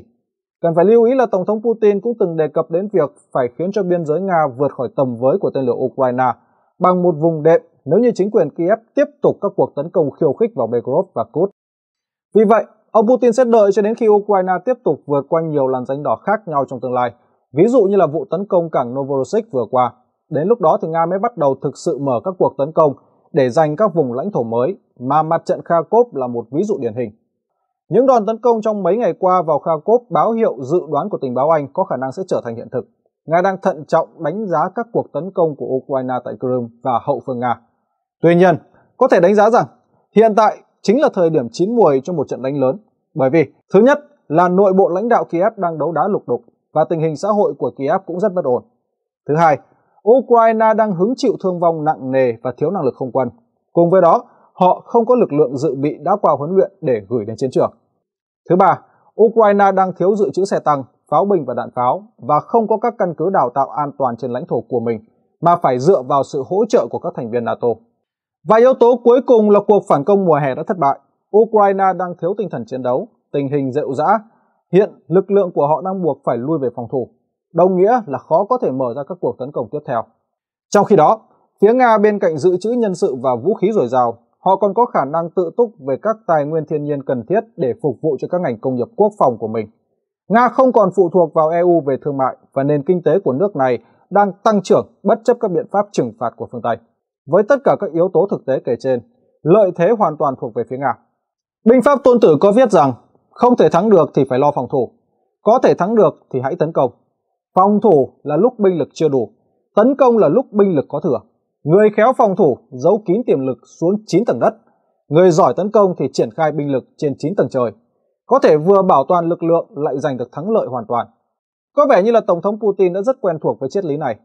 Câu hỏi duy nhất là Nga dự định sẽ tiến bao xa và Kharkov có phải là mục tiêu sắp tới hay không? Trong khi đó, Ukraine vẫn tiếp tục phải đối mặt với nhiều vấn đề cùng lúc. Điều đó báo hiệu viễn cảnh càng ngày càng u tối cho họ. Tiết lộ chấn động, Ukraine tổn thất 1.000 binh sĩ mỗi ngày. Truyền thông phương Tây đang đồng loạt đưa tin về hiệu quả chiến đấu thấp kém của Ukraine sau khi cuộc phản công mùa hè không thành công. Tờ Wall Street Journal ngày hôm qua đã cung cấp thêm một câu chuyện đen tối khác về đội quân của họ tại tiền tuyến và giải thích đây là lý do tại sao các nỗ lực quân sự của Ukraine đã đi vào ngõ cụt. Tờ này đã mô tả chi tiết nỗ lực thất bại của một toán biệt kích dù Ukraine do Trung úy Anatoly Kachenko chỉ huy nhằm chiếm các vị trí của Nga gần làng Vebove như sau. Mục tiêu ban đầu của họ là tấn công một ngọn đồi gần làng Vebove, nhưng mọi thứ đã trở nên tồi tệ chỉ trong vài phút. Ngay sau bình minh ngày 12 tháng 8, xuất hiện một máy bay không người lái bay lượn trên đầu của họ ngay giữa các cánh đồng. Toán biệt kích của Kachenko nhận được thông báo rằng máy bay không người lái của Nga sẽ bị thiết bị gây nhiễu bắn dụng. Vì vậy, họ cho rằng chiếc UAV đang lơ lửng trên đầu của mình là của phe Ukraine. Nhưng mà sau đó, UAV này bất ngờ thả chất nổ xuống đầu họ, cây cối xung quanh nổ tung vì hỏa lực súng máy và súng phóng lựu của người Nga. Kết quả là toàn bộ trung đội biệt kích này đã bị loại khỏi vòng chiến đấu. Hơn một nửa trong số 20 lính biệt kích dù đã tử trận hoặc bị thương trong vòng 20 phút, bao gồm cả quân y. Cuộc tấn công của Ukraine đã kết thúc trước khi nó bắt đầu. Trong tuyệt vọng, nhiệm vụ lúc này của sĩ quan chỉ huy Kachenko là tìm lại những người đã chết và giải cứu càng nhiều người còn sống càng tốt. Những mô tả trên đã cho thấy sự thật trần trụi là ngay cả khi còn chưa tiếp cận được tuyến phòng thủ của Nga, thì lực lượng dù tinh nhuệ của Ukraine cũng đã chịu tổn thất nặng nề. Bài viết của tờ Wall Street Journal cũng kèm theo hình ảnh một chiếc xe mô tô cũ kỹ là Sidecar và mô tả đây là phương tiện duy nhất để quân đội Ukraine có thể sơ tán binh sĩ bị thương. Có điều rằng, chiếc xe từ thời Thế chiến thứ hai này liên tục chết máy giữa đường.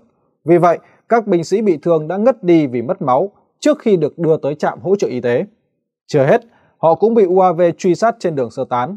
Và đến cuối ngày, chỉ còn 3 trong số 22 binh sĩ tinh nhuệ của trung đội là còn lành lặn. Tổn thất này cũng phù hợp với thông tin cho rằng quân đội Ukraine đã mất khoảng 30.000 quân mỗi tháng. Đây là một thông tin do chính cựu công tố viên và là cựu Bộ trưởng Nội vụ của Ukraine Yuri Lusenko tiết lộ trên truyền hình nước này vào cuối tuần qua. Ông này tiết lộ rằng tổng số thương vong của Ukraine trong cuộc chiến đã lên tới 500.000 người. 30.000 binh sĩ thiệt mạng mỗi tháng, có nghĩa là 1.000 binh sĩ tử trận mỗi ngày. Con số này còn nhiều hơn cả những gì mà Bộ Quốc phòng Nga tuyên bố trong các báo cáo của mình. Họ vốn chỉ liệt kê trung bình là khoảng 600 đến 700 binh sĩ Ukraine chết hoặc bị thương. Tổn thất cao cũng là lý do vì sao mà Tổng thống Zelensky muốn huy động thêm 500.000 nam nữ trong năm tới, tức là tương đương với khoảng 41.000 người mỗi tháng. Nhưng mà luật huy động mới mà văn phòng Tổng thống Zelensky trình lên Quốc hội lại có đầy các điều khoản vi hiến và sẽ phải sửa đổi rất nhiều. Do đó, nỗ lực huy động thêm nửa triệu quân của Kiev khó có thể thành công. Chưa kể là luật huy động này đang gây phẫn nộ trong công chúng Ukraine. Trong tuần qua, các bác sĩ Ukraine tiết lộ số lượng binh sĩ Ukraine thương nặng đã tăng 30%. Một lần nữa, thông tin này xác nhận con số thương vong là cao chưa từng có. Trong nỗ lực cầu xin phương Tây tiếp tục viện trợ thì chính quyền Kiev dường như đã quyết định vén bức màn bí mật xung quanh những tổn thất thực sự của quân đội Ukraine. Các nhà báo Mỹ của kênh ABC News đã được phép đến thăm bệnh viện Mednikov ở Dnipropetrovsk. Đây là một trong những trung tâm chăm sóc phẫu thuật chính cho quân đội Ukraine. Họ viết rằng có từ 40 đến 100 binh sĩ bị thương nặng được đưa vào bệnh viện này mỗi ngày. Và các bác sĩ đã phải thực hiện từ 50 đến 100 ca phẫu thuật mỗi ngày, chủ yếu là các ca phẫu thuật cắt cụt tứ chi. Thêm nữa, bệnh viện Menikov ở Dnipropetrovsk mặc dù là trung tâm hậu cần quan trọng của quân đội Ukraine, nhưng mà nó vẫn ở cách tiền tuyến tương đối xa. Và ngay trong thành phố còn có các bệnh viện khác cũng được phân bổ để điều trị cho binh sĩ Ukraine. Ngoài ra, còn có hàng chục bệnh viện quân sự cùng các phòng khám phẫu thuật khác nằm rải rác ở Kharkov, Odessa, Kiev, Lviv, vân vân, đều đang tái sử dụng để đáp ứng nhu cầu điều trị cho quân đội nước này. Vì vậy, chúng ta có thể dễ dàng ước tính rằng số người bị thương nặng nhập viện ở Ukraine mỗi ngày có thể còn cao hơn gấp nhiều lần so với con số từ 40 đến 100 binh sĩ được điều trị chỉ riêng tại bệnh viện Mednikov ở Dnipropetrovsk. Có nghĩa là mỗi ngày ngoài việc bị mất 1.000 binh sĩ thì Ukraine còn phải hứng chịu thêm một tỷ lệ đáng kể các binh sĩ bị tàn tật, mất khả năng chiến đấu. Và từ đây, chúng ta sẽ có được một bức tranh toàn cảnh khủng khiếp về tình cảnh của Ukraine lúc này. Có thể nói rằng Ukraine chịu tổn thất nặng nề và sẽ sụp đổ nếu như không có nguồn dự trữ nhân lực bổ sung kịp thời. Thêm vào đó là tình trạng thiếu đạn dược và các thiết bị quan trọng tiếp tục là cơn đau dai dẳng đối với họ. Chỉ riêng những ngày cuối năm 2023 và đầu năm mới thì chúng ta đã chứng kiến 3 đợt tấn công tên lửa quy mô lớn của Nga nhằm vào các cơ sở sản xuất vũ khí của Ukraine. Các cuộc tấn công này đã làm kiệt quệ lực lượng phòng không đối phương. Phát ngôn viên của lực lượng không quân Ukraine Yuri Ignat xác nhận rằng nước này đang thiếu tên lửa phòng không dẫn đường, rằng Ukraine đã tiêu tốn rất nhiều tên lửa để đẩy lùi ba đợt tấn công lớn gần đây nhất của Nga vào các ngày 29 tháng 12, 2 tháng 1 và 8 tháng 1. Cũng không phải là ngẫu nhiên mà Kiev hiếm hoi thừa nhận sự thật này. Một phần nguyên nhân là do trước đó thì tờ New York Times đưa tin chính quyền ông Biden không thể cung cấp tên lửa Patriot cho Ukraine do Hạ viện Mỹ vẫn chỉ hoãn chấp thuận các khoản tài trợ. Cần phải lưu ý là mỗi quả tên lửa Patriot có trị giá là 2 triệu đến 4 triệu đô la và nhiều khả năng chúng đã bị Kiev tiêu xài hoang phí chỉ để hạ gục các tên lửa đạn đạo mồi nhử cũ kỹ của Nga. Còn ở tiền tuyến, Nga thực hiện những gì mà họ cho là phòng thủ tích cực. Các cuộc tấn công cục bộ của họ tuy nhỏ, với tối đa là mỗi nhóm tấn công chỉ khoảng 10 người, nhưng mà đã chiếm được các vị trí tốt hơn. New York Times dẫn lời của chỉ huy có biệt danh là Banderas của Lữ đoàn 117 Ukraine cho biết, cho dù họ vẫn có đủ vũ khí nhưng mà lại đang thiếu người, và về mặt thể chất thì các binh sĩ của ông này đang kiệt sức. Nhưng mà đến một lúc nào đó, những vũ khí đạn dược hay là thiết bị Ukraine cũng sẽ bị Nga tiếp tục phá hủy, có thể là vào cuối mùa đông khắc nghiệt này. Đó cũng là lúc mà phía Nga chuyển từ phòng thủ tích cực sang tấn công chủ động. Tuy nhiên, kế hoạch điều động di chuyển quân của Nga cũng gặp rất nhiều khó khăn do sự giám sát của tình báo NATO thông qua máy bay do thám và vệ tinh. Chúng có thể phát hiện được bất kỳ một sự tập trung lực lượng nào. Việc mở rộng nhiều cuộc tấn công cục bộ nhỏ lẻ để tìm kiếm các điểm yếu của Ukraine có lẽ cũng là chiến lược tốt hơn cho Nga vào lúc này. Cho nên, mọi suy đoán thì vẫn chỉ là suy đoán và chiến lược tấn công Kharkov của Nga như thế nào thì hiện chỉ có Tổng thống Putin mới là người rõ nhất. Ukraine, con bạc khát nước Hiện tại, Ukraine đang phải đối mặt với hai vấn đề cùng lúc. Đầu tiên là họ không thể cứ nhận viện trợ mãi được từ các đồng minh, mà trên thực tế thì đây cũng chỉ là những khoản cho vay.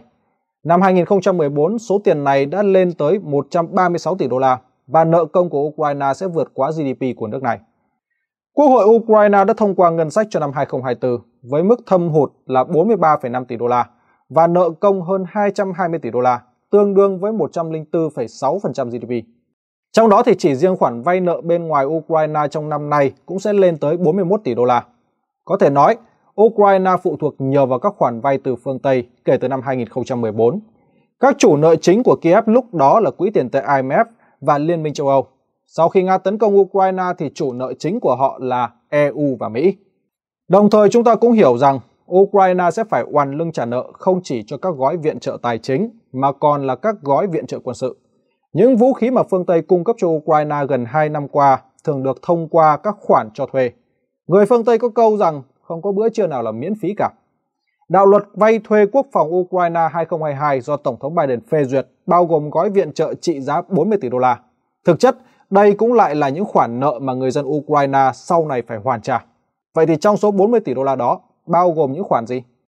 Đó là 19 tỷ đô la viện trợ quân sự khẩn cấp cho Ukraine, 3,9 tỷ đô la để duy trì các lực lượng Mỹ được triển khai ở châu Âu, 16 tỷ đô la trong gói viện trợ được chi để hỗ trợ kinh tế cho Ukraine, cứu trợ nhân đạo và một loạt các chương trình quốc tế.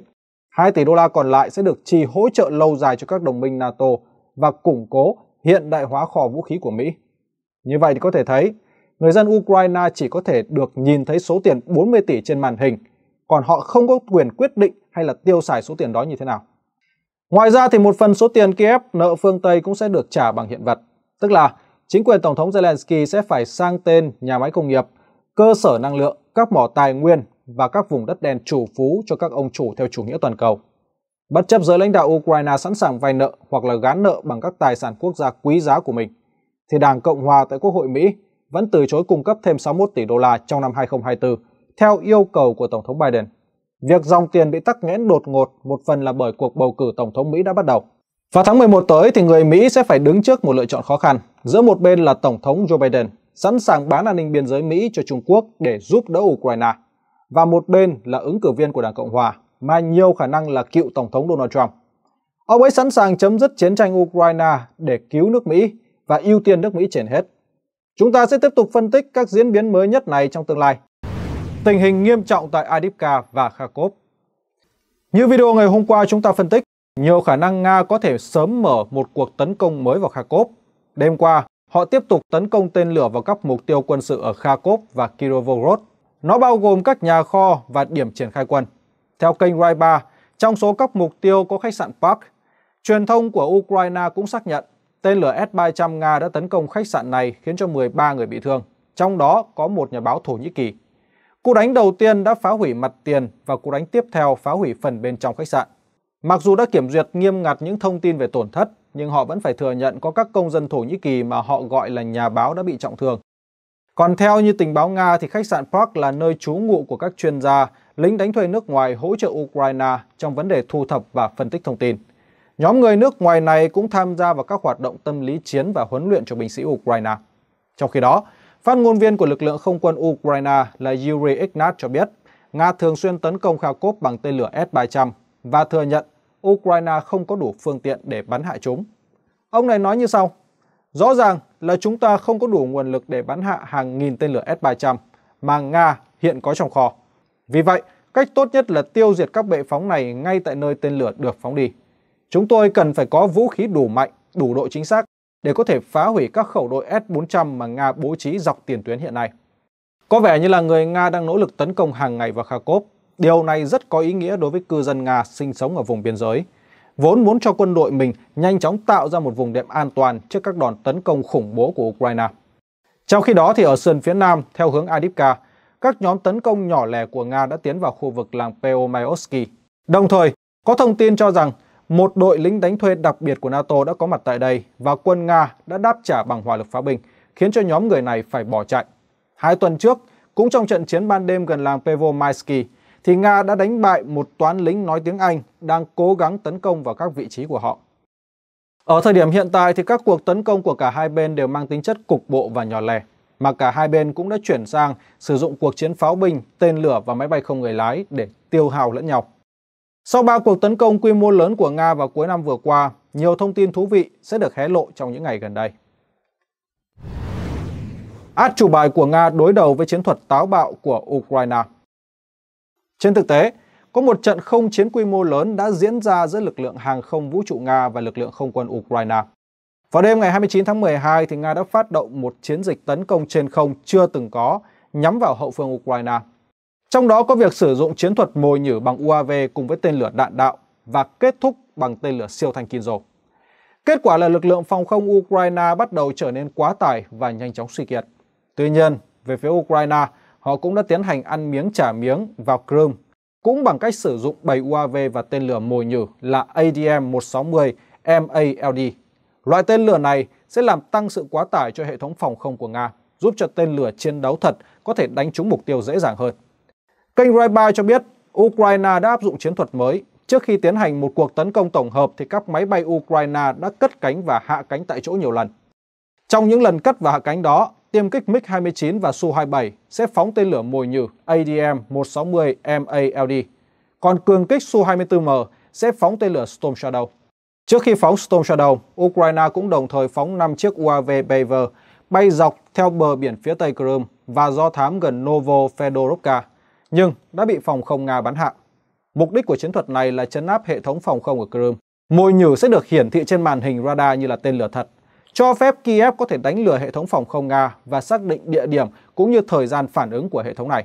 Cũng vào thời điểm mà các tiêm kích Ukraine thực hiện thao tác hạ cánh cất cánh nhiều lần, rồi phóng tên lửa mồi nhử đánh lạc hướng hệ thống phòng không Nga tại Crimea. Kiev cũng đã cố gắng thực hiện một cuộc tấn công bằng tên lửa Neptune vào mũi Kakakot hoặc Yevpatoria, nhưng chúng đã bị máy bay chiến đấu MiG-31 của Nga đánh hạ. Rõ ràng là hai bên đều đang áp dụng các chiến thuật mới để đánh lừa đối phương, trong đó có vẻ như Ukraine gặt hái cũng được một số kết quả tối thiểu với sự trợ giúp của NATO. Nhưng mà kết quả cuối cùng mới là điều mà chúng ta cần phải bàn tới. Ukraine áp dụng thủ thuật, Nga đã bắt bài. Chúng ta bắt đầu với hình ảnh dò dỉ thú vị được cho là từ hệ thống phần mềm tự động thu thập và phân tích thông tin về tình hình trên không của Ukraine, có cái tên là V-Range Vụ dò dỉ vào tối ngày 8 tháng 1 đã tạo ra một cuộc tranh luận sôi nổi trên cộng đồng mạng về việc Ukraine có thể giám sát toàn diện đối với máy bay của Nga trong chiến dịch quân sự đặc biệt. Theo chú thích từ tài khoản Fighter Bomber, thì các vòng tròn màu tím là hiển thị về các sân bay và các đường màu trắng biểu thị đường băng. Các ô màu đỏ là của Nga và màu xanh là của Ukraine. Trên màn hình này cũng đã hiển thị ba chiếc máy bay của Ukraine gần Dnipro và một số ở phía tây Ukraine. Nhiều trong số đó có thể là máy bay trực thăng. Không biết là vụ dò dỉ này là ngẫu nhiên hay là cố ý với mục đích hù dọa người Nga, bởi vì bản đồ cho thấy Ukraine có nhiều máy bay hơn so với thực tế. Lưu ý là vào năm ngoái thì phát ngôn viên lực lượng không quân Ukraine Yuri Ignat cũng đã từng cảnh báo các chủ tài khoản Telegram rằng việc chụp màn hình Viren Transit về các chuyển động của máy bay Nga trong thời gian thực và lan truyền rộng rãi trên cộng đồng mạng không khác gì khai báo bí mật cho kẻ thù và là một tội ác chống lại quân đội Ukraine. Nếu như hình ảnh do gì này là thật thì đây là bằng chứng cho thấy hệ thống tình báo và trinh sát mà NATO đang hỗ trợ cho Ukraine tinh vi đến mức nào. Hình ảnh này cũng có thể xác nhận thông tin vào ngày 5 tháng 1 rằng máy bay tuần tra MiG-31 của Nga đã đánh chặn thành công tên lửa chống hạm Neptune của Ukraine, được phóng từ ngoại ô Odessa. Ngoài ra, một tên lửa khác của Ukraine cũng bị bắn hạ cách mũi thang Cancun 31 km về phía tây bắc bán đảo Crimea. Điều đó có nghĩa là Nga đã sử dụng những chiếc máy bay MiG-30, 31 và máy bay A-50 để tuần tra trên biển. Bức ảnh của phía Ukraine cũng cho thấy mật độ giám sát trên không từ hệ thống phòng không Nga đã thể hiện xuất sắc việc đẩy lùi các cuộc tấn công của kẻ thù. Ngoài ra, truyền thông Nga cũng cho biết rằng lực lượng phòng không của họ đã hạ gục toàn bộ tên lửa phóng loạt Vampire của Cộng hòa Séc ở vùng Belgorod. Giới quan sát nhận định nhiều khả năng rằng Nga đã sử dụng hệ thống Pantsir S để đánh chặn chúng. Báo cáo gần đây đề cập đến việc nâng cấp hệ thống Pantsir S mới nhất của Nga có thể chống lại nhiều loại mục tiêu hơn và tối ưu hiệu suất trong các tình huống hoạt động khác nhau. Hệ thống radar hoạt động hiệu quả với khả năng chống nhiễu cao hơn và nâng cấp khả năng phát hiện các UAV cỡ nhỏ. Nói tóm lại, trong tuần qua thì hệ thống phòng không Nga đã ngăn chặn mọi loại vũ khí mà phía Ukraine ca ngợi. Tất nhiên là chúng ta không thể đọc được những thông tin này trên truyền thông Ukraine, nhưng mà từ các thông tin phía Ukraine xác nhận công khai thì ta có thể đánh giá rằng hệ thống phòng không của họ rất nguy ngập. Đến ngày 8 tháng 1, phía Ukraine chỉ còn phá hủy được 18 trên 51 tên lửa của Nga. Và đáng chú ý nhất đó là Ukraine đã thừa nhận họ không bắn hạ bất kỳ một tên lửa siêu thanh Kinzo và Iskander mới nào. Trong khi trước đó ít ngày thì Tổng tham mưu trưởng Ukraine là tướng Zaluzny đã công bố bắn hạ 10 trên 10 tên lửa Kinzo, tức là tỷ lệ đánh chặn thành công lên tới 100%. Dù là như vậy nhưng mà Kiev vẫn không thể giấu được các cảnh quay do người dân Ukraine ghi lại cho thấy Kinzo đã đánh trúng mục tiêu với bằng chứng là nhiều cơ sở quốc phòng lớn trên khắp Ukraine đã bị phá hủy. Trong khi đó, nhà báo nổi tiếng Ukraine là Butusov cho biết các cuộc tấn công tên lửa gần đây của Nga nhắm vào các nhà máy sản xuất vũ khí Ukraine đã giết chết hàng chục người. Nhà báo này cũng ghi nhận có hàng chục xe cứu thương vận chuyển nạn nhân tới các bệnh viện quân sự ở thành phố Lviv sau khi cuộc tấn công tên lửa diễn ra. Chính quyền Kiev hoàn toàn giữ im lặng về sự cố này, khiến cho người ta càng chắc chắn rằng Nga đã đánh trúng mục tiêu quan trọng của Ukraine và chứng tỏ các nạn nhân không phải là thường dân, mà là các chuyên gia và công nhân của xưởng vũ khí. Có thông tin cho rằng, toàn bộ nhân viên trong ca làm việc gồm 50 người tại nhà máy sản xuất tên lửa Atom ở Kiev đã bị hai tên lửa Kinzo xóa sổ. Những người may mắn sống sót là nhờ đi làm muộn do hôm đó tàu điện ngầm tại Kiev ngừng hoạt động vì mất điện. Một phụ nữ có cháu trai là công nhân thiệt mạng trong ca làm việc tại nhà máy Atom đã phàn nàn rằng chính quyền Tổng thống Zelensky đang che giấu thông tin về tổn thất này. Cựu tư lệnh lực lượng đặc biệt Ukraine, tướng Krivonos, cũng ngầm xác nhận dữ kiện trên khi nói rằng Ukraine đã mất hết các cơ sở sản xuất tên lửa mạnh nhất của mình. Đồng thời, chỉ trích không có bất kỳ một ai chịu trách nhiệm về những tổn hại đó. Nói tóm lại thì chiến dịch tấn công mùa đông của Nga đã bắt đầu được đẩy mạnh, gây tổn thất lớn cho lực lượng chế tạo vũ khí có tay nghề cao, vốn là nguồn lực rất quan trọng để sản xuất lắp ráp máy bay không người lái và tên lửa tự chế của Ukraine. Đây là một trong số ít những lĩnh vực mà Ukraine có thể tự thực hiện ở trong nước. Thêm nữa, truyền thông Ba Lan cũng đưa tin rằng tên lửa KH-47 của Nga đã phá hủy hai hệ thống phòng thủ NASAM và một khẩu đội Patriot của Mỹ. Tờ Financial Times mới đây đã chứng thực sự thống trị càng ngày càng tăng của Nga trong tác chiến điện tử. Bài viết chủ yếu cho chúng ta biết những gì đã được binh sĩ Ukraine đề cập nhiều lần trên tiền tuyến Ukraine một người lính Ukraine than phiền về việc đơn vị của anh ta thiếu khả năng bảo vệ tác chiến điện tử. Phần lớn nhân sự đã bị xóa sổ trong nhiều tuần do bị các máy bay không người lái của Nga oanh tạc dữ dội ở mặt trận phía đông. Với số lượng tấn công đông như mũi, chúng khiến cho các binh sĩ của Ukraine rụng như ruồi. Mặc dù vậy, thì tờ này vẫn cho biết Ukraine đã tìm được những điểm yếu trong phạm vi phủ sóng tác chiến điện tử của Nga, khiến cho UAV của nước này có thể tấn công sâu vào lãnh thổ Nga, bao gồm cả Điện Kremlin. Nhưng mà họ cũng thừa nhận sự lép vế của Kiev. Tờ báo chỉ ra rằng hệ thống tác chiến điện tử Pole 21 của Nga có thể được bố trí trên mặt đất hoặc gắn trên các phương tiện di chuyển. Chúng sẽ gây nhiễu trong phạm vi 150 km. Một thiết bị khác của Nga là Mosman, sử dụng các tháp anten gắn trên xe bọc thép di động. Hai hệ thống này đều có thể gây nhiễu tín hiệu GPS trong phạm vi hàng trăm km, khiến cho tên lửa Zidam và tên lửa phóng loạt của Mỹ trở nên vô dụng. Có điều là những hệ thống tác chiến điện tử này không có tác dụng đối với máy bay không người lái FPV loại nhỏ của Ukraine, do chúng có tầm bay rất thấp nên có thể tránh được sự tầm soát của các hệ thống radar. Chỉ những hệ thống tác chiến điện tử đặt gần tiền tuyến thì mới có thể gây nhiễu chúng. Một video vừa được Ukraine công bố cho thấy hai UAV của Ukraine đã bị hệ thống phòng không Nga vô hiệu hóa khi chúng cố gắng tấn công hệ thống Panzer S-1 ở vùng Belgorod. Trong video này, chúng ta có thể thấy rằng UAV đã lao gần tới mục tiêu nhưng rồi bị mất kết nối. Phía Ukraine tuyên bố rằng chiếc UAV này vẫn bắn trúng mục tiêu vì nó được thiết kế để tự động ra quyết định khi mất tín hiệu. Nhưng mà lập luận này có vẻ không thuyết phục cho lắm. Hiện tại, Nga không chỉ tăng cường tấn công cả trên tiền tuyến và hậu phương của kẻ thù, mà họ cũng nhận được sự ủng hộ ngầm từ các quốc gia lớn. Trong khi đó, Tổng thống Zelensky đang khẩn cầu các đồng minh phương Tây viện trợ thêm vũ khí và tăng cường thực hiện các chuyến công du nước ngoài để hâm nóng sự ủng hộ của các đồng minh Baltic. Ấn Độ tiết lộ cho Nga về bí mật của Ukraine. Tổng thống Zelensky đang có chuyến công du tới các nước vùng Baltic. Ngày hôm qua, ông đã có cuộc gặp với Tổng thống Estonia và tuyên bố rằng Nga đang sử dụng tên lửa đạn đạo của Triều Tiên để tấn công Kiev. Tổng thống Zelensky tuyên bố điều này với hàm ý rằng Nga cố gắng bổ sung kho vũ khí của mình với sự giúp đỡ của các nước khác. Để đáp lại thì Tổng thống Estonia Ala Karis cam kết sẽ cung cấp cho Ukraine khoản viện trợ 1,2 tỷ euro cho đến năm 2027 để trang bị vũ khí tốt hơn cho nước này.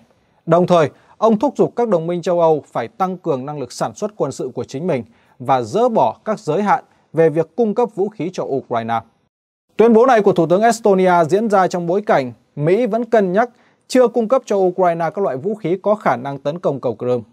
Tầm bắn của tên lửa ATACMS mà Mỹ chuyển giao cho Ukraine tới thời điểm hiện tại chỉ giới hạn ở mức 165 km, trong khi Đức vẫn từ chối cung cấp tên lửa Taurus có tầm bắn lên tới 500 km do họ lo ngại chiến tranh có thể leo thang. Nhưng mà điều đáng lo ngại nhất đối với chính quyền Kiev bây giờ đó là sự cứng đầu của Đảng Cộng hòa Mỹ. Họ đang nỗ lực để trì hoãn viện trợ 2024 cho Kiev.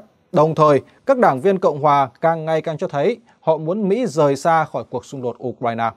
Màn tranh luận cực gay gắt giữa hai ứng cử viên tổng thống của Đảng Cộng hòa là Nikki Haley và Ron DeSantis diễn ra vào ngày hôm qua cũng đã thu hút được sự chú ý của công chúng Mỹ lẫn châu Âu.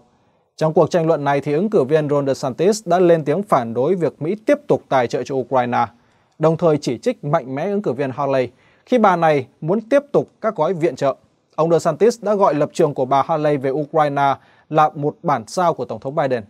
Theo CNN, thì Thống đốc bang Florida DeSantis nhấn mạnh rằng Mỹ cần phải tìm ra cách để chấm dứt chiến tranh tại Ukraine. Từ đó, có thể tập trung vào các vấn đề an ninh quốc gia, chẳng hạn như là tập trung để đối phó với Trung Quốc. Ông DeSantis, vốn là người có quan điểm rất giống với cựu Tổng thống Donald Trump, đã gọi viện trợ cho Ukraine là một lối suy nghĩ của Liên Hợp Quốc và đã chỉ trích việc giới diều hâu bảo vệ Ukraine chống lại Nga là các hành động của những người theo chủ nghĩa toàn cầu. Trong khi đó, về phía Nga thì họ đang gặt hái được những thành công ngoại giao quan trọng. Đặc biệt, Điện Kremlin đã nhận được sự ủng hộ mạnh mẽ của quốc gia đông dân nhất thế giới là Ấn Độ.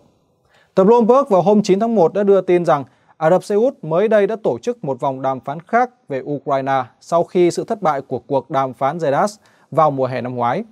Có điều là cuộc đàm phán này phải được giữ bí mật tuyệt đối với giới truyền thông và Nga cũng không được mời tham dự.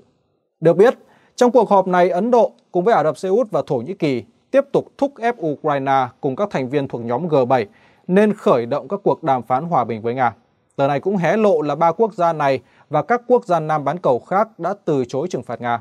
Trong khi đó, tờ Sputnik của Nga cho biết, Ngoại trưởng Sergei Lavrov là người đầu tiên tiết lộ về cuộc đàm phán được cho là bí mật này trong một cuộc phỏng vấn vào tháng 12. Ông nói như sau, Xét đến mối quan hệ tốt đẹp của chúng tôi với các quốc gia Nam bán cầu, tôi có thể nói rằng có một cuộc họp đã diễn ra cách đây 10 ngày. Cuộc họp diễn ra hoàn toàn bí mật, không có hãng tin nào đưa tin về cuộc họp này, không có thông tin dò gì nào. Nhưng mà các đồng minh và cộng sự thân cận của chúng tôi đã tham dự cuộc họp và không cam kết giữ bí mật với chúng tôi về các vấn đề liên quan đến Nga. Mặc dù Bloomberg không liệt kê đầy đủ danh sách khách mời trong cuộc đàm phán bí mật diễn ra vào giữa tháng 12 này, nhưng mà họ nhấn mạnh sự có mặt của ba quốc gia lớn có mối quan hệ rất thân thiện với Nga, đồng thời cho biết Brazil, Trung Quốc và các tiểu vương quốc Ả Rập Thống Nhất đã không tham dự vòng đàm phán mới. Do đó, có thể phỏng đoán rằng Ấn Độ, Ả Rập Saudi hoặc là Thổ Nhĩ Kỳ là những bên đã tiết lộ chi tiết về cuộc họp cho Nga. Tuy nhiên, xét về những dữ kiện gần đây thì nhiều khả năng người tiết lộ là Ấn Độ, bởi vì cả hai nước có mối quan hệ đối tác chiến lược kéo dài hàng thập kỷ, cũng như là mối quan hệ cá nhân rất mật thiết giữa hai nhà lãnh đạo Putin và Modi. Ngoài ra, Ngoại trưởng Ấn Độ Jai Sankar đã có chuyến thăm Nga vào tuần cuối cùng của năm 2023 Và sau đó thì Ngoại trưởng Lavrov đã nhắc đến mối quan hệ tốt đẹp của họ trong cuộc họp báo như sau. Chúng tôi chân thành biết ơn các đồng nghiệp Ấn Độ vì họ đã nỗ lực áp dụng cách tiếp cận có trách nhiệm để thảo luận và giải quyết các vấn đề khu vực và toàn cầu, phù hợp với các nguyên tắc hợp tác quốc tế công bằng và bình đẳng.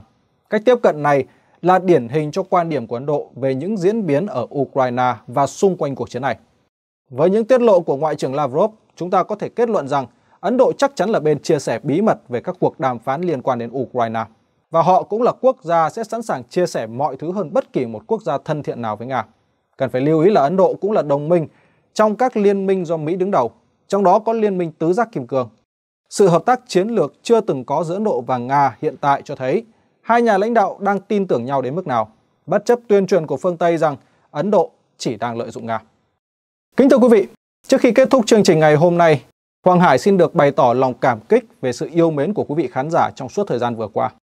Đã có rất nhiều quý vị động viên ekip bàn cờ quân sự và bàn cờ thế sự thông qua tài khoản ngân hàng của chúng tôi. Điều này thực sự khiến chúng tôi rất bất ngờ. Hoàng Hải hiểu rằng các bạn đã đặt nhiều tình cảm và kỳ vọng vào mỗi video mà chúng tôi sản xuất. Trong năm 2024 này, chúng tôi sẽ tiếp tục làm mới mình và nỗ lực gửi tới quý vị khán giả những thông tin chất lượng nhất. Vì vậy, hãy tiếp tục đồng hành cùng chúng tôi quý vị nhé. Với các mạnh thường quân mong muốn ủng hộ ekip chương trình, các bạn có thể thực hiện thông qua số tài khoản ngân hàng xuất hiện trên màn hình và chúng tôi cũng sẽ để nó ở phần mô tả dưới mỗi video. Liệu Anh có dám đảm bảo an ninh cho Ukraine? Tại khu vực Seversk của vùng Donetsk, Nga đã có những bước tiến nhỏ về phía đông nam thành phố. Ngoài ra, họ rất có thể đang chuẩn bị cho một nỗ lực mới nhằm tấn công trở lại adipka Hướng tấn công dự định sẽ là giữa làng Stepny và nhà máy than cốc adipka Cuối cùng là cắt đứt con đường cao tốc O0542 ở phía tây của thành phố. Tuy nhiên, tin tức đáng chú ý nhất trong 24 giờ qua chính là việc Thủ tướng Anh Rishi Sunak đã có mặt tại Kiev ngày hôm qua để công bố gói viện trợ quân sự trị giá hơn 3 tỷ đô la cho Ukraine trong năm tài chính tiếp theo. Đây là cam kết lớn nhất của Anh kể từ khi Nga tấn công Ukraine. Gói viện trợ này bao gồm hàng trăm nghìn quả đạn pháo, vũ khí chống tăng, tên lửa tầm xa cũng như các hoạt động huấn luyện cho quân đội Ukraine.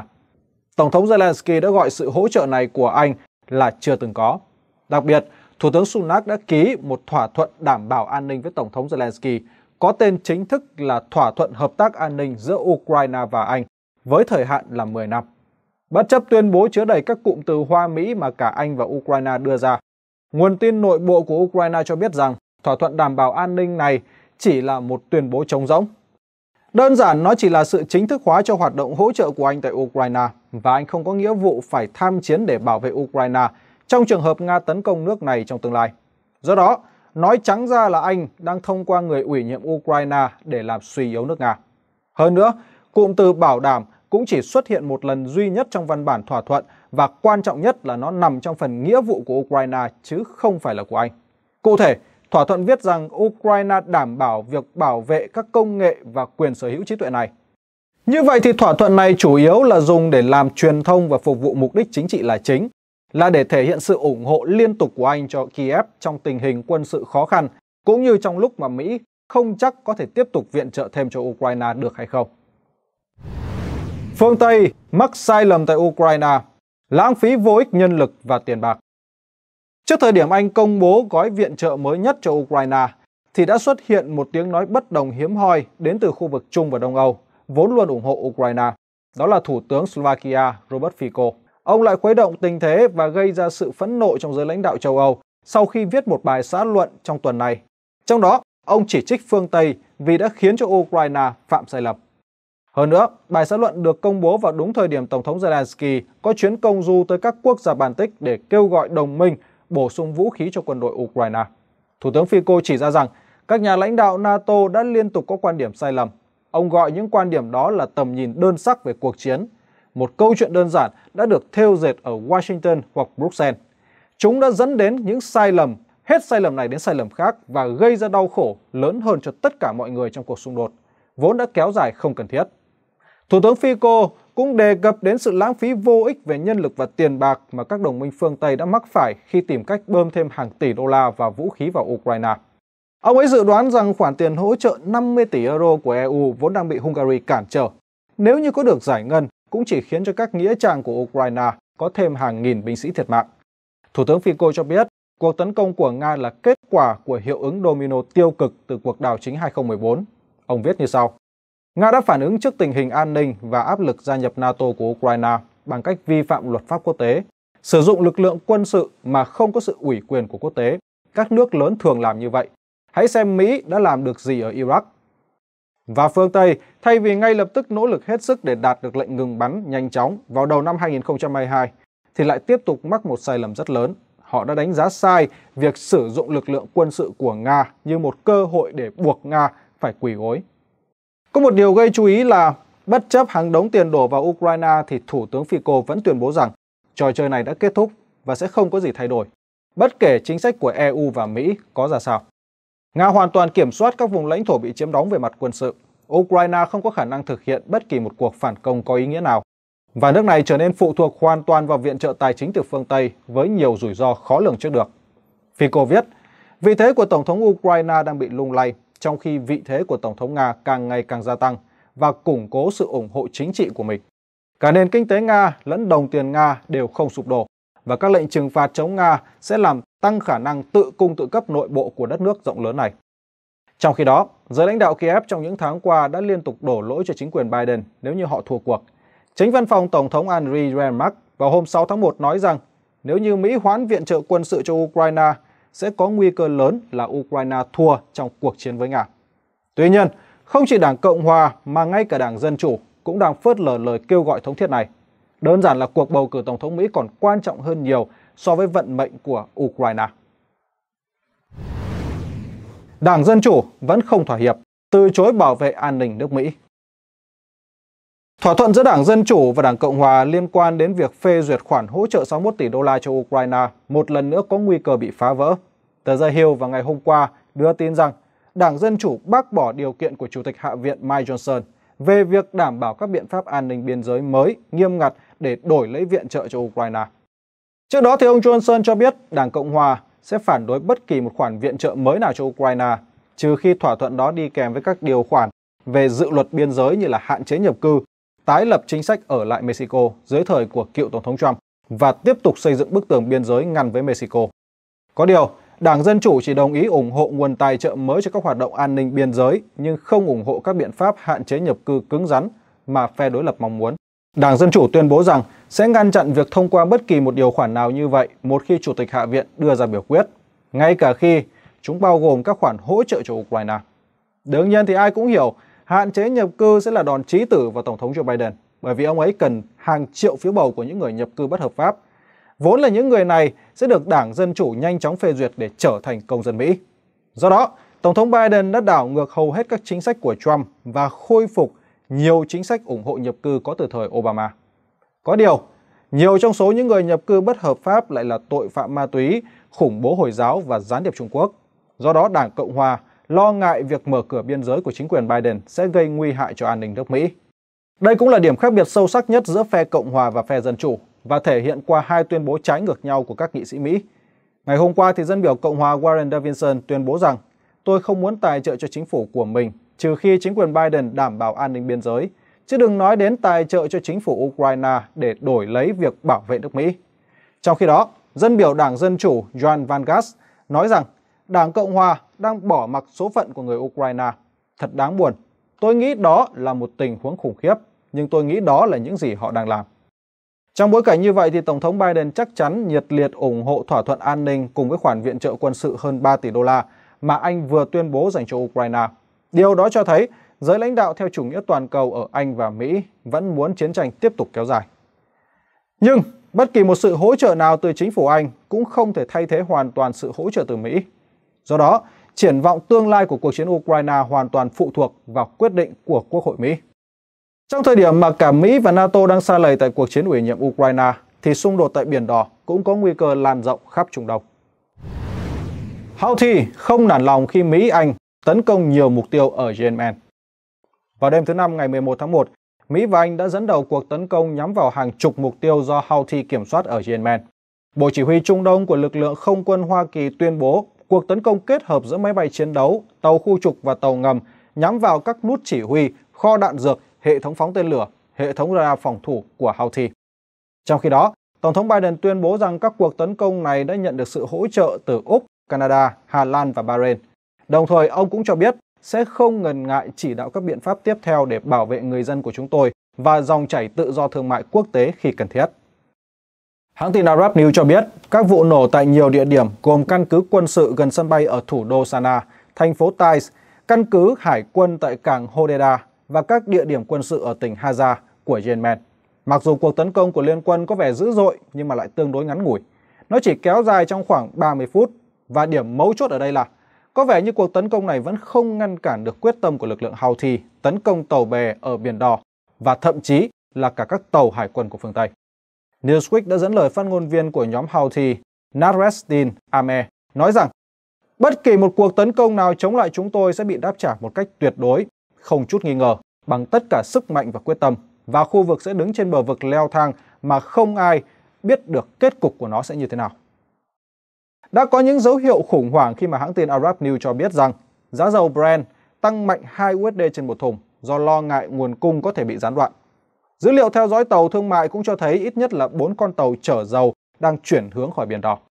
Cuộc tấn công vào Yemen cũng đã khiến cho lưu lượng vận chuyển thương mại tại vùng Biển Đỏ này đã giảm hẳn. Lực lượng hàng hải liên hợp do Mỹ đứng đầu khuyến cáo tất cả các tàu thuyền nên tránh xa eo biển Ba Emadeb và tạm dừng lưu thông trên Biển Đỏ sau khi Hoa Kỳ thực hiện các hành động quân sự của mình. Phản ứng bất ngờ của Nga trước các cuộc tấn công tại Biển Đỏ của Houthi Phản ứng trước cuộc tấn công của Liên quân Anh Mỹ, CNBC dẫn lời phát ngôn viên của lực lượng Houthi là Hussein al-Ezi nói rằng Mỹ và Anh chắc chắn sẽ phải chuẩn bị trả giá đắt và chịu mọi hậu quả thảm khốc vì đã hành động gây hấn trắng trợn. Trong khi đó, thì Lầu Năm Góc cho biết hiện tại họ không có kế hoạch gửi thêm quân hoặc thiết bị tới khu vực và sẽ theo dõi tình hình. Đồng thời, mọi con mắt đều đổ dồn vào các căn cứ của Mỹ ở Iraq và Syria, vốn có nguy cơ hứng chịu các cuộc tấn công trả đũa của nhóm đồng minh với Houthi. Điều quan trọng đó là Bộ Chỉ huy Trung tâm Mỹ đã chỉ đích danh vai trò của Iran đứng sau các vụ tấn công của Houthi.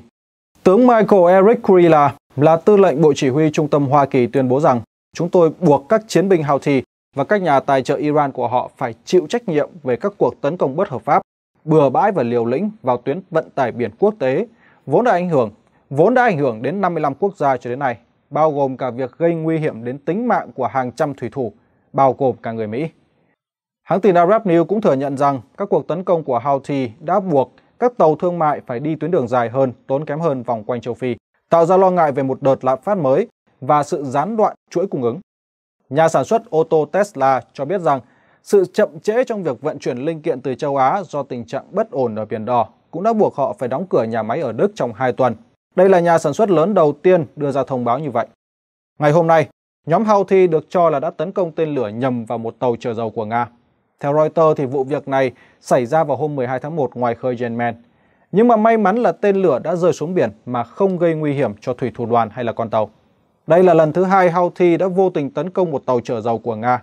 Tổng thống Thổ Nhĩ Kỳ Recep Erdogan thông cáo, chỉ trích cuộc tấn công của phương Tây như thể đang muốn biến Biển Đỏ thành một bể máu. Ông cũng lên án việc sử dụng vũ lực của Liên quân Mỹ-Anh là không cân xứng. Bất chấp hơn hai chục cuộc tấn công trước đó nhắm vào tuyến hàng hải thương mại trong những tháng vừa qua của lực lượng Houthi. Ngày hôm qua, Nga cũng lên án các cuộc tấn công vào Yemen. Phát ngôn viên Bộ Ngoại giao Maria Zakharova nói như sau. Chúng tôi cực lực lên án những hành động vô trách nhiệm này của Mỹ và các đồng minh.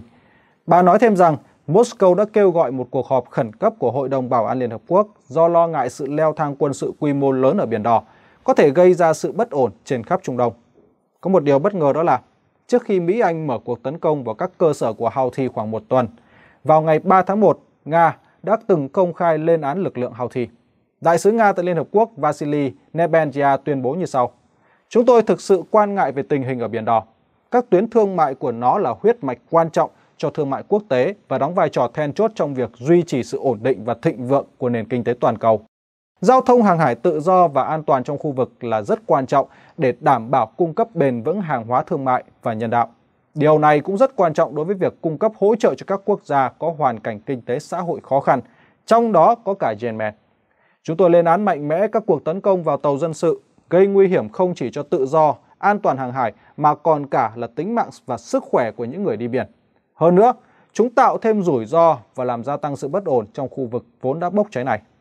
Liên quan đến vấn đề đó, thì Nga ủng hộ tuyên bố báo chí của Hội đồng Bảo an về chủ đề này được thông qua vào hôm 1 tháng 12. chúng tôi kêu gọi lực lượng Houthi chấm dứt mọi hành động có thể tạo ra mối đe dọa cho các tàu thương mại Biển Đỏ và Vịnh Aden. Xin hãy kiềm chế và thể hiện hành vi có trách nhiệm. Lực lượng Houthi phải tôn trọng các nguyên tắc an toàn hàng hải. Chúng tôi yêu cầu trả tự do ngay lập tức cho tàu Galaxy Leader cùng thủy thủ đoàn. Như vậy thì ta có thể thấy rằng thay vì ngầm chấp thuận các cuộc tấn công của Houthi như một hình thức đáp trả cuộc chiến ủy nhiệm của phương Tây chống lại Nga, hay thể hiện tình đoàn kết với Palestine, Nga đã lên án lực lượng Houthi tại Hội đồng Bảo an là vô trách nhiệm và gây tổn hại cho Biển Đỏ. Giới quan sát nhận định rằng việc Nga lên án cuộc tấn công của Houthi ở Biển Đỏ là muốn làm rõ quan điểm của nước này một lần nữa trong bối cảnh phương Tây đang muốn mạnh tay ở Biển Đỏ để đáp trả các cuộc tấn công của Houthi. Và bài bình luận ngày hôm nay của chúng tôi cũng xin được kết thúc tại đây. Cảm ơn quý vị đã quan tâm theo dõi. Xin chào và hẹn gặp lại trong các chương trình tiếp theo.